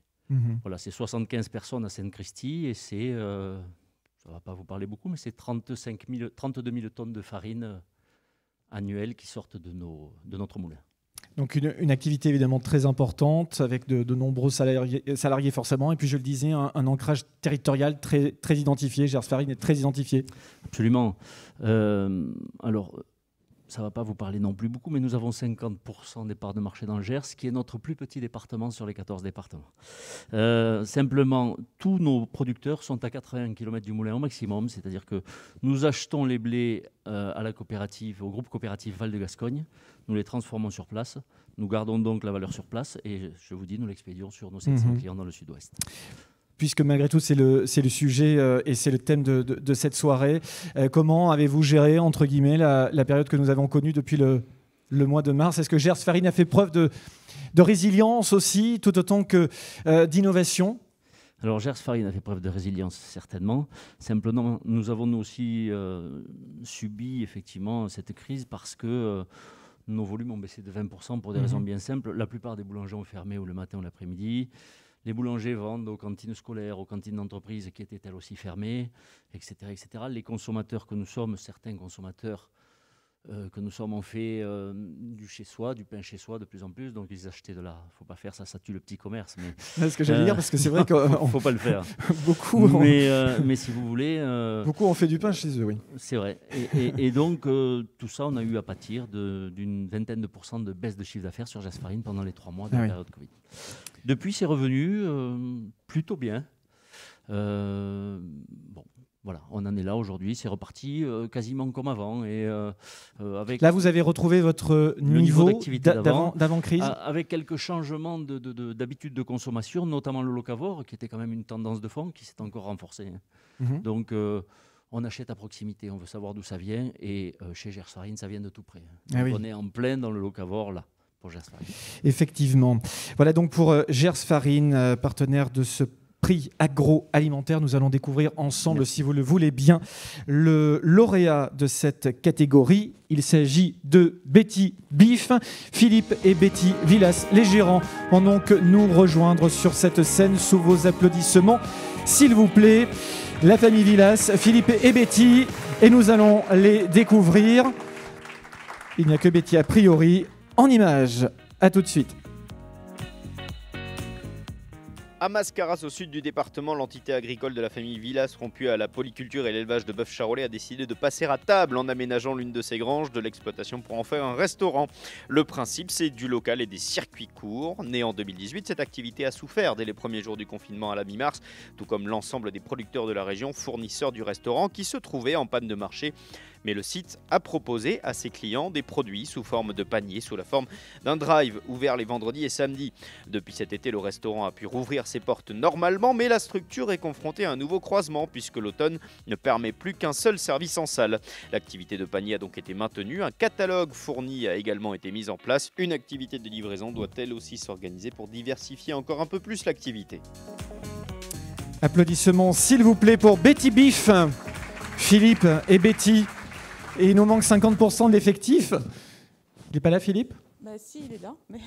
D'accord, oui, c'est vrai qu'on avait dit pas plus de trois. Non, c'est vrai, c'est vrai, non, c'est moi qui dis une grosse bêtise. Non, c'est pas grave. Je voudrais qu'on vous applaudisse quand même, s'il vous plaît. Vous êtes resté au milieu de la salle. Cher Betty, voilà donc euh, ce prix agroalimentaire et, on l'a vu il y, a, quelques, il y, a, quelques, instants. Eh bien, euh, euh, vous avez mis en place ce fameux circuit court qui finalement eh bien, était devenu tendance un petit peu à la mode, puis tout, tout d'un coup, à partir du mois de mars, à partir du confinement, ben on en a eu terriblement besoin. Oui, effectivement. Après, c'était effectivement une tendance. Votre, micro, voilà. Oui. C'était une tendance peut-être en théorie jusque-là. Après, pendant le confinement, on a constaté effectivement que ben, c'est devenu une évidence euh, pour nous qui sommes une zone. Enfin, on est sur une zone de production. Enfin, le Gers, c'est une zone de production, une zone essentiellement agricole. Et c'est vrai que donc il a été. Euh, on a ouvert un restaurant. Donc le restaurant s'est retrouvé fermé du jour au lendemain, hein, comme tous les, tous les restaurants. Du coup, dans cet espace vide, euh, on a eu la possibilité de, d'accueillir les produits des producteurs fournisseurs du, restaurant, qui sont nos collègues, puisque nous sommes nous-mêmes producteurs, et de créer en fait une, dynamique, de créer une activité et de proposer très rapidement, une semaine après le confinement, grâce aux réseaux sociaux, d'ailleurs, euh, qui sont une sacrée vitrine. On a proposé très rapidement voilà, l'ensemble de nos produits frais, en conserve. On a proposé les livraisons également, puisque bon, on est quand même à distance. De la population. Et donc, euh, effectivement, on a rencontré un succès euh, assez rapide. Assez, rapide, effectivement. Alors, le restaurant a pu rouvrir, je crois, dès... Début juin. Oui, début juin, dès, le début de, dès le début de l'été. Comment ça se passe là aujourd'hui? Alors, pendant l'été, ça s'est très bien passé. Je pense, comme beaucoup de restaurateurs, euh, on a eu quand même du public local, français. On a eu pas mal d'Européens aussi qui sont venus, qui ont eu des pieds-à-terre, ou des hébergeurs qui sont eux-mêmes je pense à des, des Belges, des Hollandais qui, sont, euh, voilà, qui ont accueilli leur, euh, leur public habituel. L'été s'est très bien passé. Bon, il ne compensera pas bien évidemment la perte, euh, comme pour tous, de toute façon de cette, cette période de rupture, mais, mais c'est bien passé. Et là, depuis bah, la rentrée, on a de nouveau voilà, une chute.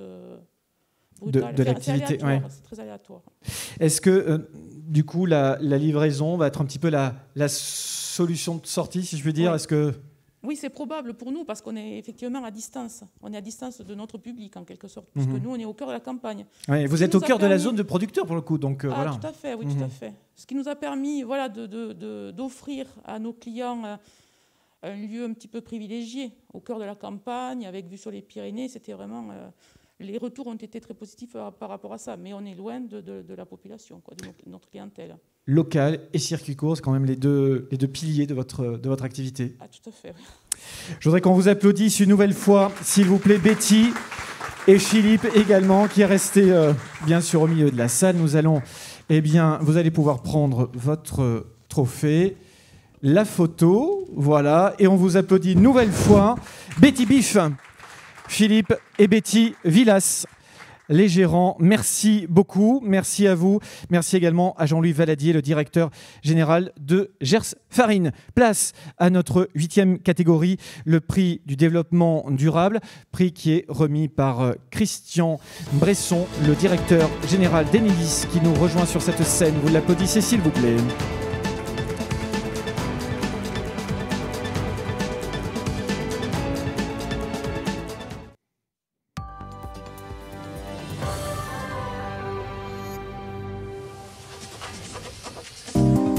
2022, la révolution numérique et la transition énergétique continuent de transformer la société.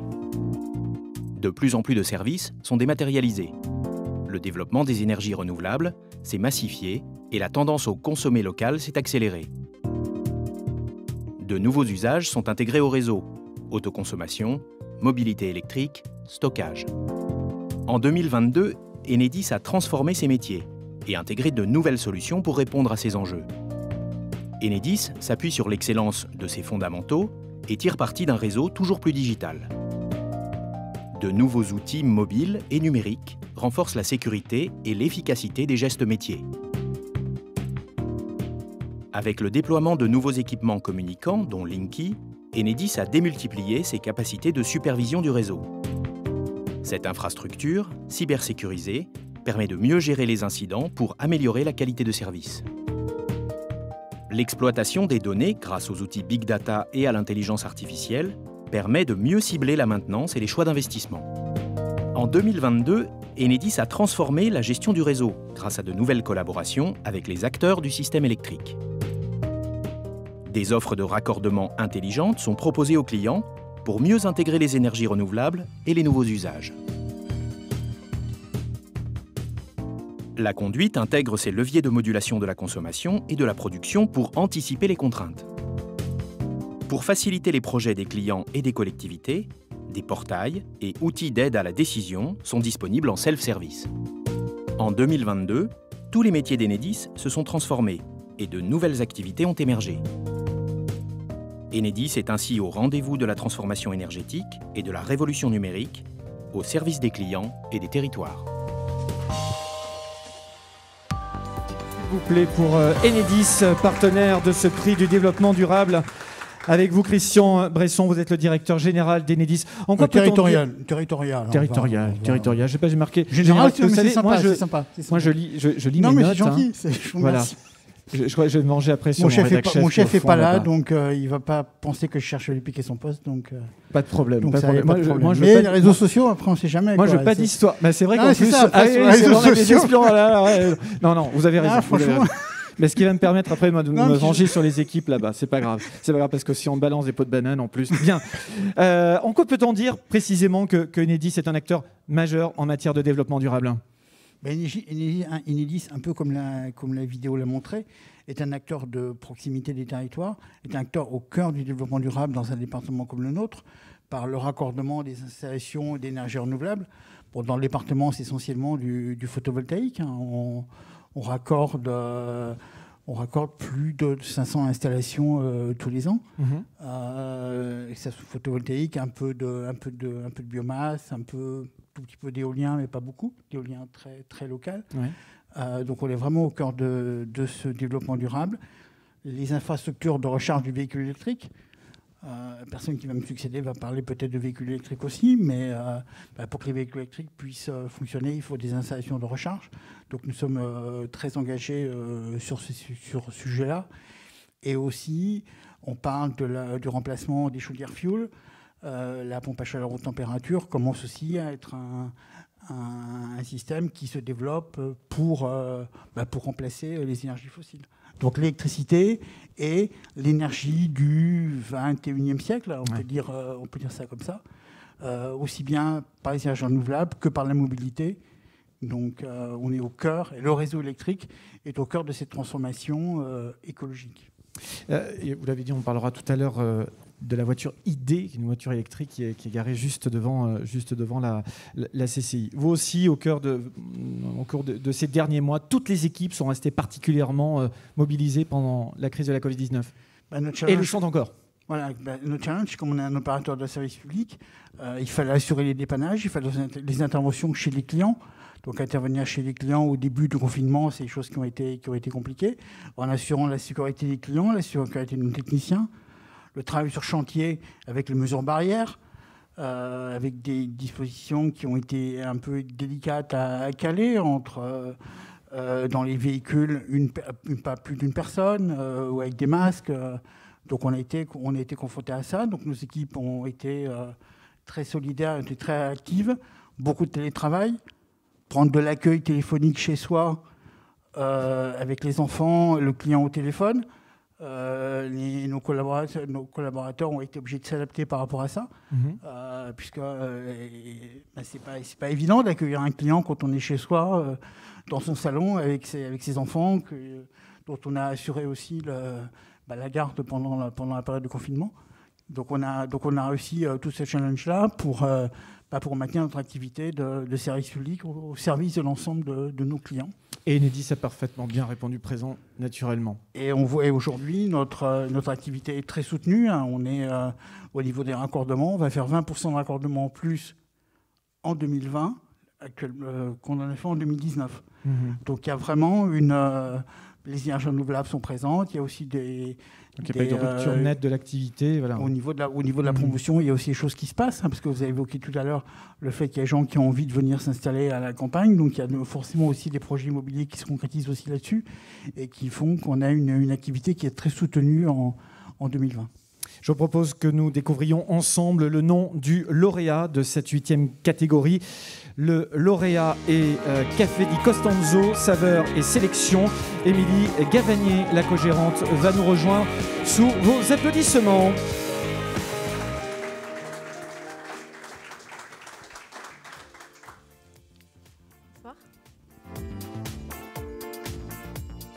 Que de chemin parcouru pour l'entreprise Café Di Costanzo de l'île Jourdain en 13 ans d'activité et artisan torréfacteur en reconversion installé au cœur du Gers. Étienne et Émilie Gavani ont réussi le pari de proposer aux cafés, hôtels et restaurants du Grand Sud-Ouest des produits d'excellence. Torréfiés dans leur atelier, ces cafés sourcés en direct avec des importateurs partenaires et coopératives aux quatre coins de la planète, en Colombie, au Guatemala, en Birmanie, ne sont issus que des dernières récoltes et sont uniquement des cafés de spécialité. Ce sont désormais 16 personnes qui travaillent pour Café Di Costanzo et qui torréfient jusqu'à 100 150 tonnes par an. 60% des références produites le sont en bio. Très actif et solidaire pendant le confinement. Responsable à plus d'un titre, Café Di Costanzo travaille auprès de ses clients professionnels en caisse consignée. L'entreprise recycle l'ensemble de ses déchets, réutilise ses papiers pour le calage de ses envois et propose même des dosettes compatibles Nespresso compostables. Applaudissements s'il vous plaît pour les cafés Di Costanzo, saveur et sélection. Émilie Gavanier.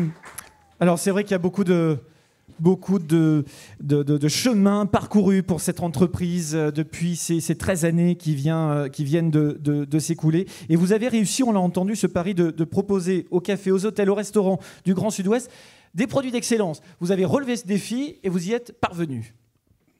Euh, oui, donc on a repris à 13 ans. On a bah, pas mal développé l'entreprise. Donc on a maintenant une, 1000 bah, clients à peu près, café, hôtel, restaurant. Et c'est vrai qu'on est passionné par le goût du café.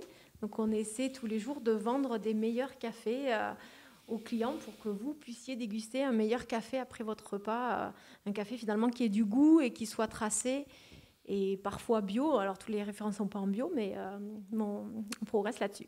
Exactement, on, y reviendra peut-être dans, quelques instants. Présentez-nous peut-être votre entreprise un petit peu plus dans, le détail. combien de collaborateurs? Où êtes-vous implanté Combien de collaborateurs? Alors on est torréfacteur à l'île Jourdain depuis, euh, on a repris il y a 13 ans. On est 16 euh, avec un agent co euh, sur Bordeaux et sur Montpellier. Et sinon, on est des 14 sur l'île Jourdain. et on travaille donc avec des cafés hôtels restaurants, on va dire 100 km autour de, l'île Jourdain. Mhm. Après, on a une clientèle de, de particuliers qui est plus petite sur, sur l'île Jourdain. On a juste une boutique et on a un site de vente en ligne qui a effectivement bien marché pendant le confinement. Euh, voilà, c'est ça. Quand on est torréfacteur, on est animé par la passion, forcément. Vous disiez tout à l'heure, on aime le, on aime le café. J'allais, presque dire, on aime tous le café. Mais quand on est torréfacteur, on est passionné par quoi à la base? En fait, euh, on aime le goût. Le goût du, euh, le goût, donc savoir déguster, être curieux de toujours trouver un, un, café qui va avoir un goût différent et le décrire. Et après, euh, c'est aussi la passion de quelque chose qui est finalement pas connu, le café en France. c'est connu, on boit quelque chose qui est chaud et noir. Mais euh, aller, aller chercher quelque chose qui a du goût et une histoire, une traçabilité, voir un producteur, c'est quelque chose qu'on connaît sur le vin, mais pas sur le café. Donc là, on a du travail. Et en matière de développement durable, vous le disiez tout à l'heure, vous recyclez l'ensemble de, vos déchets, vous euh, euh, réutilisez les, papiers que vous utilisez, etc. etc. Ça, c'est important également d'avoir développé tout cet aspect-là dans votre entreprise. Ouais, tous les ans, on essaie de mettre en place des, euh, des nouvelles idées, finalement. Mhm. Donc il y a très peu de temps, on, a, on est passé, je pense. Donc vous reviendrez pour l'innovation l'année prochaine ah, je ne sais pas. C'est l'innovation. On essaie en tout cas de, de trouver au, niveau euh, écologique hein, aussi euh, et durabilité. Euh, ben, on est passé en gaz et en, en gaz et en électricité compensé carbone. Peut-être un jour on aura des véhicules électriques ou on livrera un vélo dans des dans des agglomérations en tout cas. Donc après, c'est des choses qu'il faut, qu'il faut mettre en place. C'est pas toujours évident et ça coûte cher. Mais, mais on essaie de se remettre en cause régulièrement là-dessus. Merci beaucoup, Émilie Gavanier. Voilà donc pour ce prix développement durable. On vous applaudit une nouvelle fois, s'il vous plaît. On applaudit les cafés di Costanzo. saveur et sélection. Rendez le micro à notre hôtesse juste derrière vous. Vous allez pouvoir prendre le septuor. Vous vous tournez vers la salle et notre photographe. Et on vous applaudit une nouvelle fois. Émilie Gavanier. Et on va remercier également Christian Bresson, le directeur euh, territorial d'Enedis. Ah, je me suis pas loupé ce coup-là. Merci beaucoup. On peut vous applaudir effectivement. Merci.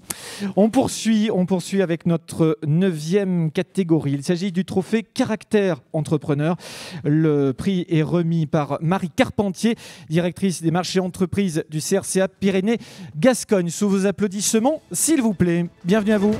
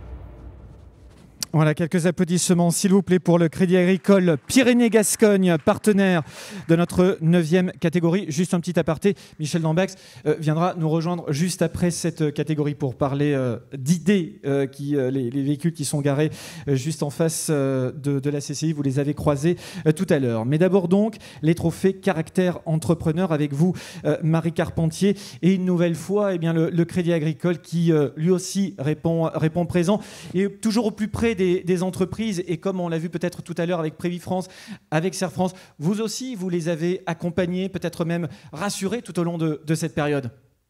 C'est vrai, euh, on l'a beaucoup dit jusqu'à présent, mais euh, la période de confinement a été très intense pour, euh, pour l'ensemble des collaborateurs du Crédit Agricole. Mmh. Lilian Caillot, qui est là aujourd'hui, a assuré l'ouverture des agences, même pendant la période de confinement, tout en assurant la sécurité de nos collaborateurs et en organisant le télétravail avec la sécurité des données pour bien évidemment. C'est ça, parce que vous-même, vous avez dû évidemment vous réorganiser complètement en, interne forcément, tout, en continuant euh, d'assurer euh, votre, votre mission euh, pour, pour vos clients également. Ça a été très important, puis surtout pour les entrepreneurs que vous êtes, puisque ça a été une période avec beaucoup d'inquiétudes. Et euh, Nathalie Caillot, c'est aussi une histoire de famille, euh, qui, est, qui, est, là. On, a réussi le challenge bah, d'appeler tous nos clients. Et pendant euh, ces deux mois de confinement, mais c'est à peu près 700 entreprises du territoire qu'on a accompagnées par des financements, par des post-crédits.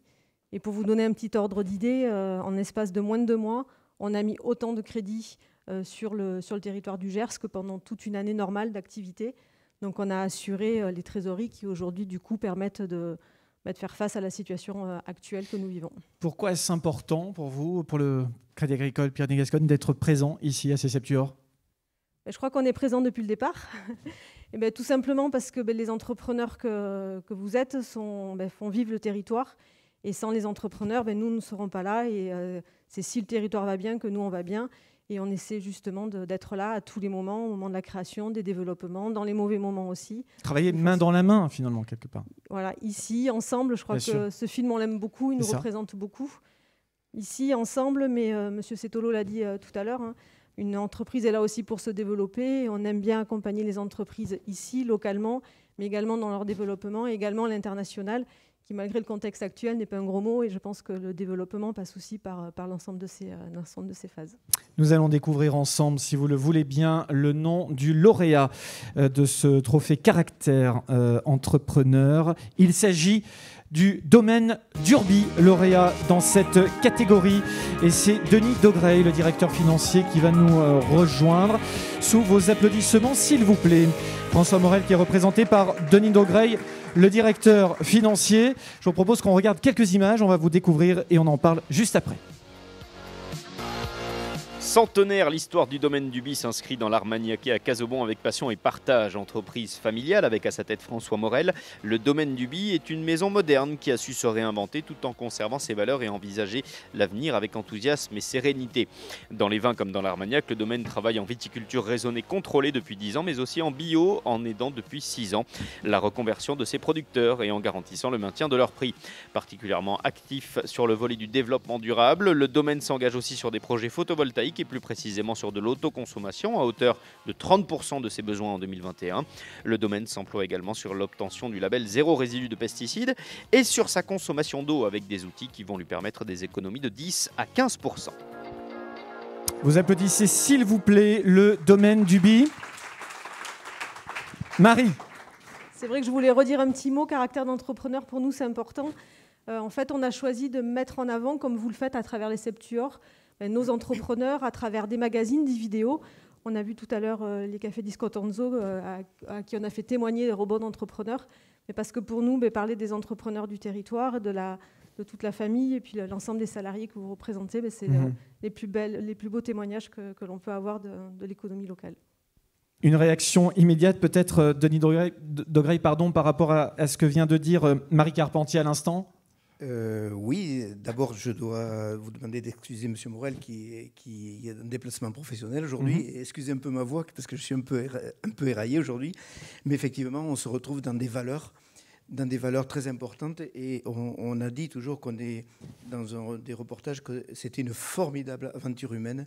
Et l'aventure humaine, elle est avec les hommes, mais elle est aussi avec nos partenaires financiers, avec les gens avec qui nous travaillons tous les jours, nos fournisseurs, les clients et toujours, toujours dans un respect euh, très important des personnes.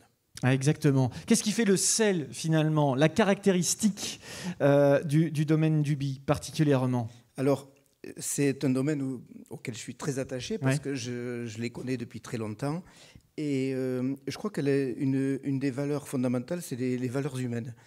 Et ils ont su, enfin François, après, après ses parents, a su transformer cette entreprise familiale, une entreprise moderne, tout en gardant les valeurs humaines. Et ça, c'est quelque chose qui, qui, euh, qui est très important et, et, on se base sur le RSE, enfin la responsabilité sociétale des entreprises, voilà, sur, sur, des piliers qui sont très importants et ce n'est pas une vue de l'esprit, c'est une réalité qui est mhm. appliquée tous les jours. Et puis, il y a également un, domaine, euh, un domaine où, qui est très important pour vous, euh, c'est euh, l'obtention du label zéro résidu de pesticides. On l'a entendu tout à l'heure dans, dans, le sujet. C'est un, travail que vous menez depuis de longs mois maintenant. Oui, c'est beaucoup de recherche. Alors, je ne suis pas le grand spécialiste. non, non, bien sûr, mais je veux dire, ça fait partie des. Mais effectivement, il y a beaucoup de, de R&D, de recherche et de développement, et également d'innovation pour justement aujourd'hui euh, mettre zéro pesticide, enfin, qu'il n'y ait zéro résidu de pesticides, parce que ça c'est très important, et également toute une partie de l'activité. Euh, aujourd'hui, il y a 150 hectares de partenaires en bio, et, tout le reste du domaine est en HVE. Donc tout, tout, ce, tout, ce, qui est en, valeur, euh, des hautes valeurs environnementales, c'est très important. L'environnement, on parlait tout à l'heure d'énergie durable. Nous aussi, enfin, on travaillons là-dessus parce que c'est on pense que c'est l'avenir. Alors, il y a zéro euh, pesticide, zéro résidu. Et puis, il y a également la consommation d'eau. Vous travaillez aussi pour euh, abaisser cette consommation d'eau. Alors, euh, on travaille sur plusieurs axes, effectivement, toute la consommation d'eau pour la diminuer, parce que vous savez qu'il faut il faut nettoyer des cuves, euh, etc. Il y a beaucoup de choses. Donc c'est traité. Et également, on travaille sur des procédés. Alors je ne suis pas le grand technicien, je, vous l'avoue. C'est pour justement limiter cette consommation. Et également, en, partie environnementale, on travaille également pour autoconsommer l'électricité que l'on va, qu'on va produire très bientôt. Euh, peut-être que ça participe aussi d'une meilleure image finalement du, euh, du, domaine, enfin des domaines en, règle générale, mais peut-être du, du, vôtre en particulier. Oui, Oui, parce que vous, vous savez qu'il y a eu un, un agri-bashing ou un viticulteur bashing. On entend parler qu'il faut faire très attention, il ne faut pas, il faut pas traiter. Donc tout ça, ça a été intégré. personne, il n'y a plus de traitement autour des maisons. Et, il faut respecter toute, toute cette toute cette note environnementale qui touche beaucoup les, consommateurs. Bien sûr. Et c'est très important et on s'aperçoit qu'à la longue, le, le, bio ou les produits plus naturels sont, sont très demandés. Je voudrais vraiment qu'on vous applaudisse une nouvelle fois le domaine du Merci beaucoup. Denis Degreil, le directeur financier. Euh, nous allons eh bien, vous remettre le trophée. Plus exactement, c'est vous qui le, prenez face au photographe. Vous l'applaudissez une nouvelle fois, s'il vous plaît, le domaine du bi. Denis Degreil, on va remercier également Marie Carpentier directrice marché entreprise du Crédit Agricole Pyrénées-Gascogne. Voilà donc pour ce trophée des caractères et entrepreneurs. Nous allons maintenant accueillir sur cette scène euh, Michel Dambax qui va nous euh, rejoindre pour parler. Nous allons parler ensemble eh bien, des, véhicules électriques. On peut vous applaudir, Michel Dambax. Rejoignez-nous sur cette scène. Bonsoir, bienvenue. Oui, alors c'est vrai que quand on, a, quand on arrive, quand on est arrivé euh, tout à l'heure, eh bien on a découvert euh, les idées. Les idées. Eh oui, des idées. Alors il y avait la 3, je crois, la 3 ou la 4. Donc c'est la 3 d'ailleurs. Alors est-ce qu'on vous entend? Oui, je pense qu'on va vous entendre. Oui, ça, fonctionne. Euh, on a découvert l'idée 3. Le produit que vous avez devant, c'est bien, bien l'idée 3. J'ai demandé à intervenir ce soir pour, au final, lever les craintes un peu sur la mobilité électrique parce qu'au travers des rencontres que nous faisons avec nos clients, il y a des questions récurrentes qui, euh, qui viennent régulièrement. donc, quelles sont, ces euh, questions L'autonomie et, euh, et, la recharge. Donc, pour Volkswagen, pour le groupe Volkswagen qui a quand même investi et qui va investir dans les dix prochaines années plus de 120 milliards sur la voiture électrique, je, je, je vous annonce que nous sommes prêts aujourd'hui, euh, que ce soit au niveau des produits et également au niveau du, service après-vente, à commercialiser ce genre de voiture. L'autonomie euh, en ce qui concerne ID3, qui est le, premier modèle d'une gamme à venir, puisque vous avez vu en introduction sur, sur, sur le film qu'un ID4 est arrivé, c'est un SUV qui arrive à la fin de l'année. Nous avons une autonomie aujourd'hui qui varie de 350 à 550 km. Voilà, donc euh, si on s'amuse à, en se levant le matin à se dire combien je vais faire de kilomètres dans la journée, euh, c'est rare quand on se dit qu'on va faire 400 ou 500 km dans la journée. Donc euh, on, on, réfléchit plutôt sur l'électrique sur un kilométrage journalier que sur un kilométrage annuel. Donc, euh, parce que les temps de recharge aujourd'hui sont également, compte tenu des, des batteries qui sont embarquées sur les voitures, assez courts. Bon, ça tient bien sûr compte de, euh, des bornes que vous avez pour recharger. J'ai compris que sur le GERS, au travers de ce que j'ai pu lire sur, sur les, sur les cartes que les collectivités locales avaient investi euh, sur les bornes, sur euh, la ville, de, sur la commune d'Auch. vous ne le savez pas peut-être, mais il y a 23 bornes qui sont disponibles pour recharger. Donc le, le problème de la recharge aujourd'hui, il est en train de s'effacer, vous voulez dire que voilà, ce n'est plus un problème en soi, peut-être Pas du tout. Voilà, c'est c'est vous décidez aujourd'hui de partir sur Bordeaux. Il mhm. faut savoir que vous avez une borne, vous avez trois stations euh, e-mobility. Alors des stations e-mobility, ce sont des, des, stations de service euh, à l'intérieur desquelles vous avez euh, entre 4 et 6 bornes qui ont une puissance de 300 kW. Mhm. Donc, ce qui vous permet que lorsque vous avez une voiture qui a besoin d'être rechargée, qui est euh, usée, euh, enfin, où les batteries sont euh, quasiment sans énergie, vous pouvez recharger en l'espace de 30 minutes. Mhm. Donc c'est comme si vous aviez une voiture thermique et vous, faites le plein, vous faites un peu la queue devant les, pompes à essence parce que vous n'êtes pas tout seul. Et, et voilà, donc vous allez prendre votre petit café, votre voiture se, se, recharge. Est-ce que la, doctrine est en train de changer auprès de la clientèle? Est-ce que vous sentez que là, il y, a un frémissement On est de plus en plus intéressé par l'électrique ou pas? Il y a, un frémissement, surtout quand on voit. Ah, je dis frémissement, peut-être même plus. Hein, oui, oui, mais il y a un frémissement, surtout quand on voit que nos voitures sont, vous accompagnent euh, mhm. également, parce que vous parliez d'intelligence artificielle tout à l'heure, mais nos voitures sont, euh, vous, vous accompagnent elles savent détecter quelles sont les bornes disponibles. Elles savent vous dire en combien de temps vous allez recharger. Donc, ça, c'est le cas de l'ID3, par exemple C'est le cas de l'ID3. Et ça sera le cas du SUV qui arrive en fin d'année Absolument. D'accord. Donc, tout ça pour vous dire que au niveau des recharges, vous n'avez aucune crainte. Et en même temps, pour vous, entrepreneurs, vous avez, euh, fiscalement parlant, un intérêt euh, à vous projeter sur euh, ces voitures électriques, puisque euh, il y a un plafond fiscal d'amortissement qui s'élève à 30 000 euros, sur lequel vous pouvez rajouter également le montant de la batterie. Donc vous pouvez amortir euh, jusqu'à 50 voire 60 000 euros euh, du prix de, votre, de, votre voiture. Mmh. Voilà. Donc il y a un intérêt fiscal là-dessus. Et après, bon, bien sûr, par rapport à un moteur thermique, les euh, consommations sont divisées par 3.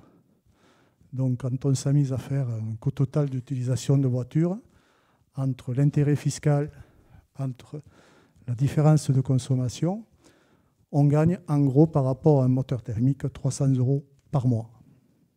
Voilà, je vous laisse vous projeter. Ce qui n'est pas négligeable. Voilà. Merci beaucoup. Voilà, je vous remercie. Merci beaucoup, Michel Dambax, euh, de nous avoir euh, parlé eh bien des, voitures électriques, en particulier de, de l'ID. Et quelques applaudissements pour Michel Dambax, s'il vous plaît. Merci de, de votre concours ce soir. Vous continuez de nous suivre naturellement en direct sur la page Facebook des, des Septuor et vous continuez bien sûr de, de réagir, d'interagir avec le hashtag euh, Septuor32. Prochaine catégorie maintenant, c'est le coup de cœur de la CCI. Euh, du Gers et le prix est remis par Rémi Branet, le président de la CCI qui va nous rejoindre sur cette scène. Sous vos applaudissements naturellement. Nous allons regarder quelques images avant de vous passer à nouveau la parole.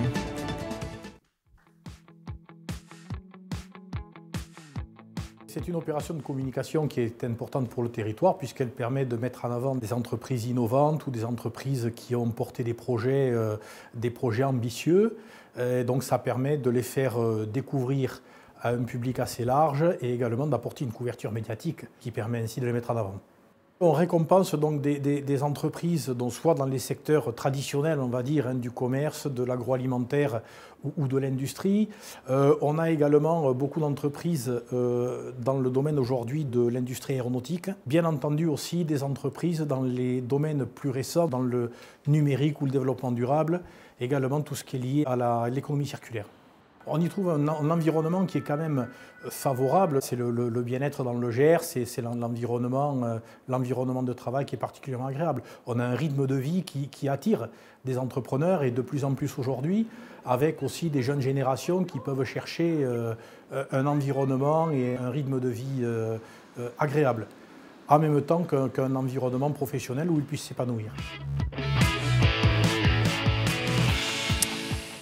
Quelques applaudissements à nouveau pour euh, la CCI euh, du, Gers. On va peut-être faire une petite piqûre de rappel par rapport à ce que vous aviez dit euh, à l'ouverture de, cette cérémonie pour celles et ceux qui éventuellement nous auraient rejoints en direct au cours, au cours de, cette, de cette soirée. À quel point, bien évidemment, la, Chambre de commerce et d'industrie du Gers a été présente aux côtés, bien sûr, de toutes les entreprises et des différents acteurs du territoire tout au long de cette, cette période. Oui, absolument. bon félicitations quand même aux, collaborateurs de la Chambre qui ont, comme beaucoup d'ailleurs collaborateurs des entreprises qui, qui, ont, qui, ont, témoigné ce soir. été confronté à un, moment quand même particulier, c'est-à-dire un télétravail, puisque ici, le, le, lieu d'accueil en tout cas a été, a été globalement fermé mhm. et, les collaborateurs ont eu à travailler depuis chez eux. Avec, on a une équipe qui est, qui est, qui est une moyenne d'âge qui est particulièrement jeune à la Chambre. Donc beaucoup se sont retrouvés en même temps avec des, dans de, la garde d'enfants. Euh, voilà, donc difficile d'avoir d'un côté des, chefs d'entreprise euh, anxieux auxquels il faut expliquer des, des, situations complexes et, en même temps surveiller et avoir et garder les, enfants, à la maison. Oui, c'était particulier. Voilà, voilà. Donc ils ont et fait, quand même, De, de, de, beaucoup de motivation et je crois qu'ils étaient quand même à un moment aussi très contents de pouvoir revenir ça mérite aussi peut-être quelques applaudissements pour toutes, les, euh, pour toutes les équipes qui, ont, qui ont continué à, travailler. Vous pouvez les applaudir. C'est le coup de cœur maintenant, c'est le coup de cœur, cher, euh, cher président Rémi Branet. Nous allons donc découvrir le lauréat de ce coup de cœur. Il s'agit de l'Hôtel de France.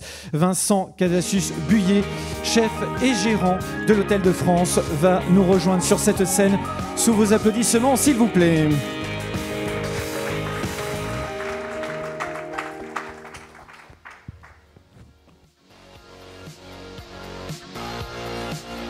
Au cœur du centre historique d'Oche, l'Hôtel de France a traversé les époques et les siècles avant que son fonds de commerce ne soit repris en 2009 par la famille Casasus. Cet établissement hôtelier de renom a également connu ses heures de gloire dans ses cuisines avec André Daguin, double étoilé Michelin, qui a œuvré en ces lieux durant de très nombreuses années. Aujourd'hui composé de 29 chambres d'hôtel 3 étoiles, l'Hôtel de France dispose de deux restaurants, dont un gastronomique, la Grande Salle. Employant 28 personnes, il est redevenu un acteur majeur de la ville d'Oche. Propriétaire des murs depuis seulement l'an passé, la famille Casasus venait juste d'achever une nouvelle phase de travaux au moment de la crise sanitaire. Avec le confinement, des plats emportés ont été proposés aux clients habituels ainsi que des plateaux repas pour les entreprises. Une période délicate mais bien gérée par l'hôtel qui a rapidement pu rouvrir ses portes. L'établissement se lance désormais dans la rénovation de toutes ses chambres ainsi que dans la création d'un rooftop et de deux salles de séminaire. Vous applaudissez s'il vous plaît l'Hôtel de France. Avec euh, Vincent Casasus Buyer, vous êtes donc euh, le, chef, le gérant de, cet hôtel qui, véritablement, et on l'a entendu il y, a, quelques instants, vous êtes euh, au, cœur, j'allais dire, du centre historique d'Oche et forcément, eh cet établissement qui a su traverser quelque part les âges reste lui aussi un véritable marqueur de cette ville et de ce territoire. Oui, effectivement, on a. Alors, je tiens à dire qu'on travaille en famille, c'est une...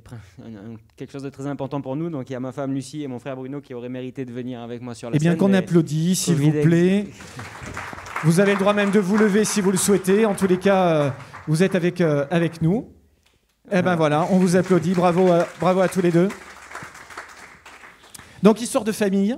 Voilà, on bosse en famille à l'Hôtel de France. Oui, on travaille en famille aussi avec une, avec une belle équipe autour de nous parce qu'on on est une grande famille, mais on n'est quand même pas 28 à travailler euh, de la même famille. Donc on a toute une équipe que je mhm. salue aussi et qui, et, qui, euh, et qui a souffert pendant le confinement parce que nous, on ne peut pas faire de télétravail, c'est plus compliqué et euh, qui était content de reprendre le travail et qui a très bien travaillé et, qui est très importante parce que nous, nos métiers, sans, notre équipe, on ne peut pas faire grand-chose. C'était un beau défi aussi pour vous de, reprendre cet établissement. On a entendu le, riche passé de, de, cette, de cet hôtel, de ce restaurant avec euh, André Daguin euh, qui... on est d'ailleurs ici dans, dans, cette salle André Daguin, donc c'est important quand même de le, de, le signaler. Un beau défi pour vous que vous avez relevé avec brio d'ailleurs c'était un défi, c'était une chance surtout que, justement André Daguin et, quelques personnes nous aient fait confiance à l'époque. Et, euh, et, oui, c'était surtout une chance de pouvoir, euh, pour, pour moi qui suis un cuisinier, pour une famille de restaurateurs, de pouvoir euh, tenir une maison comme, comme l'Hôtel de France à Auch, c'est une chance. Alors parlons d'abord de, l'hôtel, 29 chambres qui, euh, d'après ce qu'on a compris, euh, vont être euh, refaites, c'est ça? Elles sont, elles sont en train. Elles sont en train, d'accord. Donc vous êtes en plein dans le... Parce qu'on ne s'arrête jamais de fonctionner, à part pendant le confinement, par force, mais sinon elles sont en train. On a, des chambres en travaux en ce moment. Et puis alors deux, deux, restaurants également dans votre établissement, dont un gastronomique. On a vu quelques, quelques images d'illustration avec cette fameuse grande salle, voilà, qui est un, un cadre assez, assez prestigieux également. Oui, la grande salle qu'on a ouvert un jour. Pour on a ouvert le 13 mars pour la refermer le 13 mars avec, le, avec la fermeture des restaurants. Et, qui aujourd'hui, bah, du coup, euh, du coup c'est aujourd'hui la grande salle. Alors on, on, se développe sur beaucoup de choses. Mais aujourd'hui, c'est la grande salle qui fait vraiment notre, euh, notre fierté, puis qui tire aussi la maison vers le haut, parce que du coup, on a eu la chance de faire toute une saison et toute une arrière-saison avec une salle neuve, avec des nouvelles prestations. Et, et ça nous permet de, tenir pour l'instant bien le coup mhm. dans, cette période particulière. Alors durant le confinement précisément, vous avez mis en place euh, eh bien des, des, plateaux repas, vous avez euh, proposé euh, de, la vente, de la vente à emporter, histoire de, de contourner le problème quelque part. Voilà, c'est, ça a plutôt bien marché, ça vous a aidé à, à, passer le cap ou, pas? Oui, oui, ça, ben, ça, ça, nous a surtout aidé parce que nous, comme, comme je vous l'ai dit plusieurs fois, on est une famille de restaurateurs et on n'est pas, pas jardinier, pas bricoleur. Donc il a fallu vite trouver une occupation, donc ben, on a fait tout de suite des plateaux. La chance qu'on avait, c'est que c'est une prestation qu'on avait déjà en place. L'autre chance qu'on a, c'est qu'on a beaucoup de clients locaux qui avaient besoin de ça, puisqu'ils continuent à fonctionner et puis il fallait, il fallait nourrir tous leurs collaborateurs. Donc finalement, on a très vite, puisque le, lundi de, suite à la fermeture, on proposait les plateaux. Et effectivement, on a, ça nous a permis bah, de maintenir un lien avec les clients, déjà mhm. c'est important, de maintenir le lieu ouvert, même si c'était un peu particulier. Et ensuite, bah, finalement, euh, on se rend compte qu'on s'est fait des nouveaux clients. Et puis aujourd'hui, on a une prestation qu'on continue de faire et qu'on continue de développer. Ne pas casser le lien aussi, vous qui en plus êtes au cœur du, centre historique euh, d'Auch, donc forcément c'était, euh, c'était important. Je voudrais vraiment qu'on vous applaudisse une nouvelle fois toute la famille Casasus qui est présente ce soir. Oui. Oui, Président. Vous fêtez pas quelque chose aujourd'hui Oui, c'est son anniversaire. Ah, c'est son anniversaire. Bah, joyeux anniversaire. Allez, quelques applaudissements. Vous prenez le trophée, s'il vous plaît. Face au photographe et on vous applaudit une nouvelle fois. On applaudit l'Hôtel de France à Auch. Merci beaucoup. Merci infiniment. Merci également au président Rémi Branet. Nous allons maintenant passer eh bien, à la dernière catégorie de ces Septuors. Il s'agit du prix spécial de la région Occitanie. Le prix est remis par Ronnie Guardia Mazzolini, conseiller régional de la région Occitanie, qui nous rejoint sous vos applaudissements. S'il vous plaît, bonsoir à vous. Ronnie Guardia Mazzolini, quelques images d'abord de notre belle région. Vous êtes entrepreneur en Occitanie? Vous souhaitez booster votre activité ou encore créer ou reprendre une entreprise en Occitanie? Rejoignez Hub Entreprendre Occitanie. La plateforme de services en ligne de la région conçue spécialement pour simplifier vos démarches et vous aider à faire de votre projet une réussite. Il vous suffit de créer votre compte sur le Hub Entreprendre et bénéficier d'un accompagnement personnalisé avec un référent qualifié. Suivez ensuite en quelques clics vos demandes de financement sur un espace dédié et sécurisé. hubentreprendre.larégion.fr Voilà, quelques applaudissements s'il vous plaît pour euh, la région Occitanie. Une région Occitanie, elle aussi, qui eh bien, a fait face avec euh, tous les élus, toutes les équipes, euh, face à la période bien sûr et, à cette crise euh, sanitaire. Toutes les équipes sont restées particulièrement mobilisées. Il a fallu aussi rassurer alors à la fois les entreprises, bien sûr, tout le tissu associatif également. Bref, pour le coup, tous les, tous les secteurs étaient bien sûr touchés. Il a fallu rassurer tout le monde. Ça a été un énorme travail pour vous. C'est bon, merci. Bonsoir. Oui, effectivement, euh, la crise sanitaire, elle est là depuis le mois de mars. Depuis le mois de mars, la région est mobilisée avec des dispositifs pour toutes les entreprises, y compris pour les indépendants, les auto-entrepreneurs, bien sûr, avec euh, voilà, euh, le passe rebond aussi pour accompagner les entreprises à se diversifier, à se relancer. Voilà. Et sur 2020, par exemple, c'est 1300 dossiers, un peu plus, 8 millions d'aides alors que sur l'année 2016 à 2019, sur le Gers, ce n'est que 6 millions. La volonté de la région, c'est d'accompagner voilà, tous les territoires, d'aller au cœur des territoires, parce que je vous l'ai dit, nous le savons tous, la crise sanitaire est là. Pour autant, sur le Gers, nous avons des entreprises qui sont mobilisées, qui innovent, des gens qui se battent. Donc notre volonté, c'est de les accompagner. On sait que les plans de licenciement, malheureusement, il y en a, aura. Et euh, sur nos territoires ils ont beaucoup plus d'impact. Donc, accompagner les entreprises, c'est aussi accompagner les populations, accompagner les familles des salariés.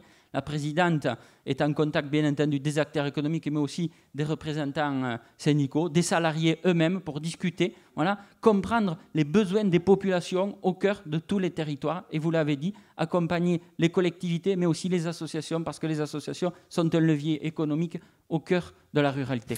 Tous ont fait preuve de beaucoup de résilience finalement durant toutes ces semaines. Et c'est vrai que... Bien sûr. Tout le monde a, bien, tout le monde a, enfin j'allais dire à jouer, je ne sais pas tout à fait le terme, mais tout le monde s'est véritablement, a eu envie de repartir, d'aller de, d'aller de l'avant, et la région a pris pleinement euh, sa part. Voilà donc pour, euh, pour ce point qui était important de, signaler pour l'implication bien évidemment de la région Occitanie. Euh, pour ce prix spécial de la région Occitanie, nous allons découvrir en images les trois nommés.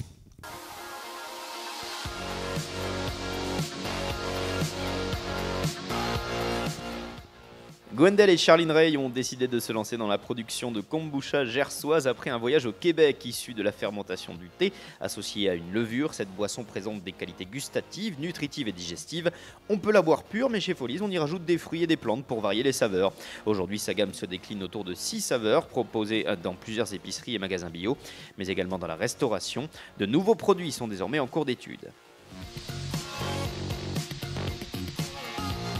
Né dans l'esprit de Nicolas Rico et Fabien Candelon, l'étuverie prend son essor en valorisant notamment un produit local, l'ail de Lomagne.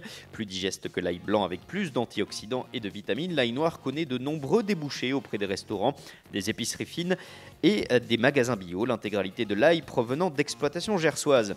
Depuis 8 mois, les compères produisent également des produits dérivés et en tout, ce sont 3 tonnes d'ail qui seront ainsi transformées en 2020.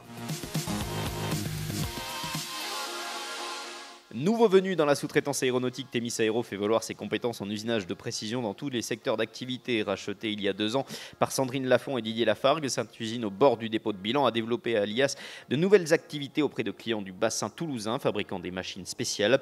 Employant aujourd'hui 14 personnes, ses clients sont les entreprises de rang 1 de l'aéronautique, mais aussi des locaux ayant des besoins d'usinage sur tout type de matériaux. Voilà donc pour les trois nommés que vous pouvez applaudir. Pour ce prix spécial de la région Occitanie, nous allons donc découvrir maintenant le lauréat de ce prix spécial de la région Occitanie. Il s'agit de... Le lauréat est Brasseur Passion Folies Kombucha. Et c'est Charline Rey et Gwendal Venedi, les co-gérants, qui vont nous rejoindre sur cette scène. Sous vos applaudissements, s'il vous plaît, avant d'en parler, quelques images de Brasseur Passion.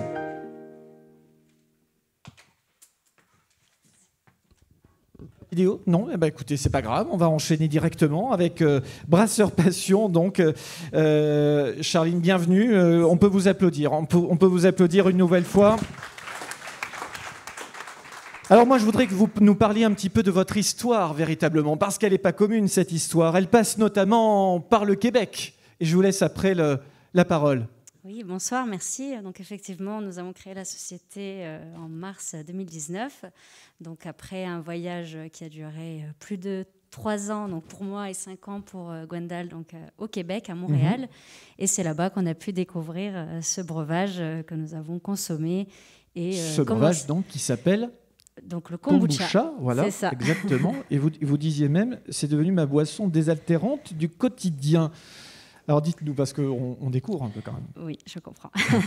donc c'est une boisson donc euh, fermentée comme la bière, mais c'est sans alcool. Donc c'est vraiment euh, une boisson vivante, euh, finement pétillante, donc aromatisée, voilà, à base de thé fermenté, donc issu d'une fermentation naturelle avec la levure de kombucha. Mhm. Et le principe, c'est de transformer les sucres et de créer donc une boisson qui va être pauvre en sucre et riche en micro-organismes, donc avec des bienfaits euh, sur la santé. Donc c'est bon sur... Oui, c'est ça, c'est bon pour la santé Oui, exactement. Sur la digestion, mhm. détox, euh, et du coup très peu calorique euh, grâce au travail de la levure. Très bien, très bien. alors, vous avez créé donc Brasseur Passion en 2019, c'est bien ça? C'est ça. D'accord. alors, vous vous êtes installé dans un premier temps à quel endroit? Vous avez pas mal bougé, non C'est ça? Alors en fait, on a commencé donc euh, au sein de la pépinière euh, le site, donc qui se trouve euh, sur Cologne. Et pendant le confinement, donc on a déménagé afin d'avoir notre propre microbrasserie, donc toujours sur Cologne. mais là, on est tout seul du coup. Mais avant d'amorcer tout ça, forcément, il faut rappeler quand même que la région aussi a été, a été à vos côtés et, et, vous a, et vous a accompagné. Oui, absolument. Oui, on a été accompagné donc euh, par la région euh, grâce euh, au pass Agroviti. Mhm. Donc, je remercie une fois de plus la région pour cet accompagnement qui nous a permis donc de faire l'acquisition de nouvelles cuves, nouvelles lignes d'embouteillage pour accroître la production et chercher de, de nouveaux débouchés. Aidé donc par la région et par Initiative Gers. Parlez-nous un petit peu de votre, de votre gamme, de, vos, de vos saveurs. Six saveurs, quelles sont-elles? Donc oui, donc on a développé donc une gamme composée de six saveurs. donc il y a gingembre citron, framboise rose, citron vermente, hibiscus goji, pomme cannelle et mangue curcuma. Donc le oh. dernier qu'on a sorti, c'était il y a une semaine et c'est pomme cannelle. Très bien, très bien. D'autres produits peut-être déjà, d'autres idées? Oui, on y réfléchit, mais c'est encore. Euh, ah oui, on peut pas, peut pas trop le dire. En plus, on est écouté ce soir, donc on ne va rien dire ce soir. Merci beaucoup. En tous les cas, je voudrais vraiment qu'on vous applaudisse. Charline Rey et Gwendal Venedi, Brasseur Passion, Folies, Kombucha, c'est comme ça qu'on dit? Kombucha. Kombucha, oui, kombucha ça. pardon. Kombucha. Merci beaucoup. Allez-y, vous pouvez rendre votre micro à notre hôtesse et prendre surtout votre Septuor chère Charline, et nous allons vous applaudir une nouvelle fois, s'il vous plaît. Voilà pour ce prix spécial de la région Occitanie. Un grand merci à Ronnie Guardia Mazzolini, également conseiller régional de la région Occitanie. Merci à tous les deux. Voilà donc euh, pour euh, cette euh, cérémonie. Avant de nous quitter, bien, je vais demander à Eric Lafont-Bailey de bien vouloir nous rejoindre une nouvelle fois sur, sur cette scène pour, pour le mot de la fin avant que les lauréats ne, nous rejoignent. Alors on aura le droit à une photo avec euh, un mètre de distance et le masque. Donc les lauréats nous rejoindront ici sur la scène pour la photo finale, euh, pour la photo euh, collective, mais avec les, avec les règles qui, qui s'imposent. On a vu plein de belles choses là. Enfin, ça a été, c'était assez intéressant tout ça. Exactement, et je crois, Président, effectivement, que c'était vraiment bien de pouvoir maintenir, parce que certes, nous sommes les entreprises dans un moment particulier où nous pouvons, pour certaines plus ou moins, souffrir, je dirais malheureusement certaines beaucoup plus, beaucoup trop, mais il y a aussi effectivement des entreprises qui brillent par leurs idées, par leur créativité, et ça, vraiment, effectivement, ça fait du bien. C'était pétillant, je crois que c'est le dernier mot qui a été employé. Ça pourrait symboliser cette soirée.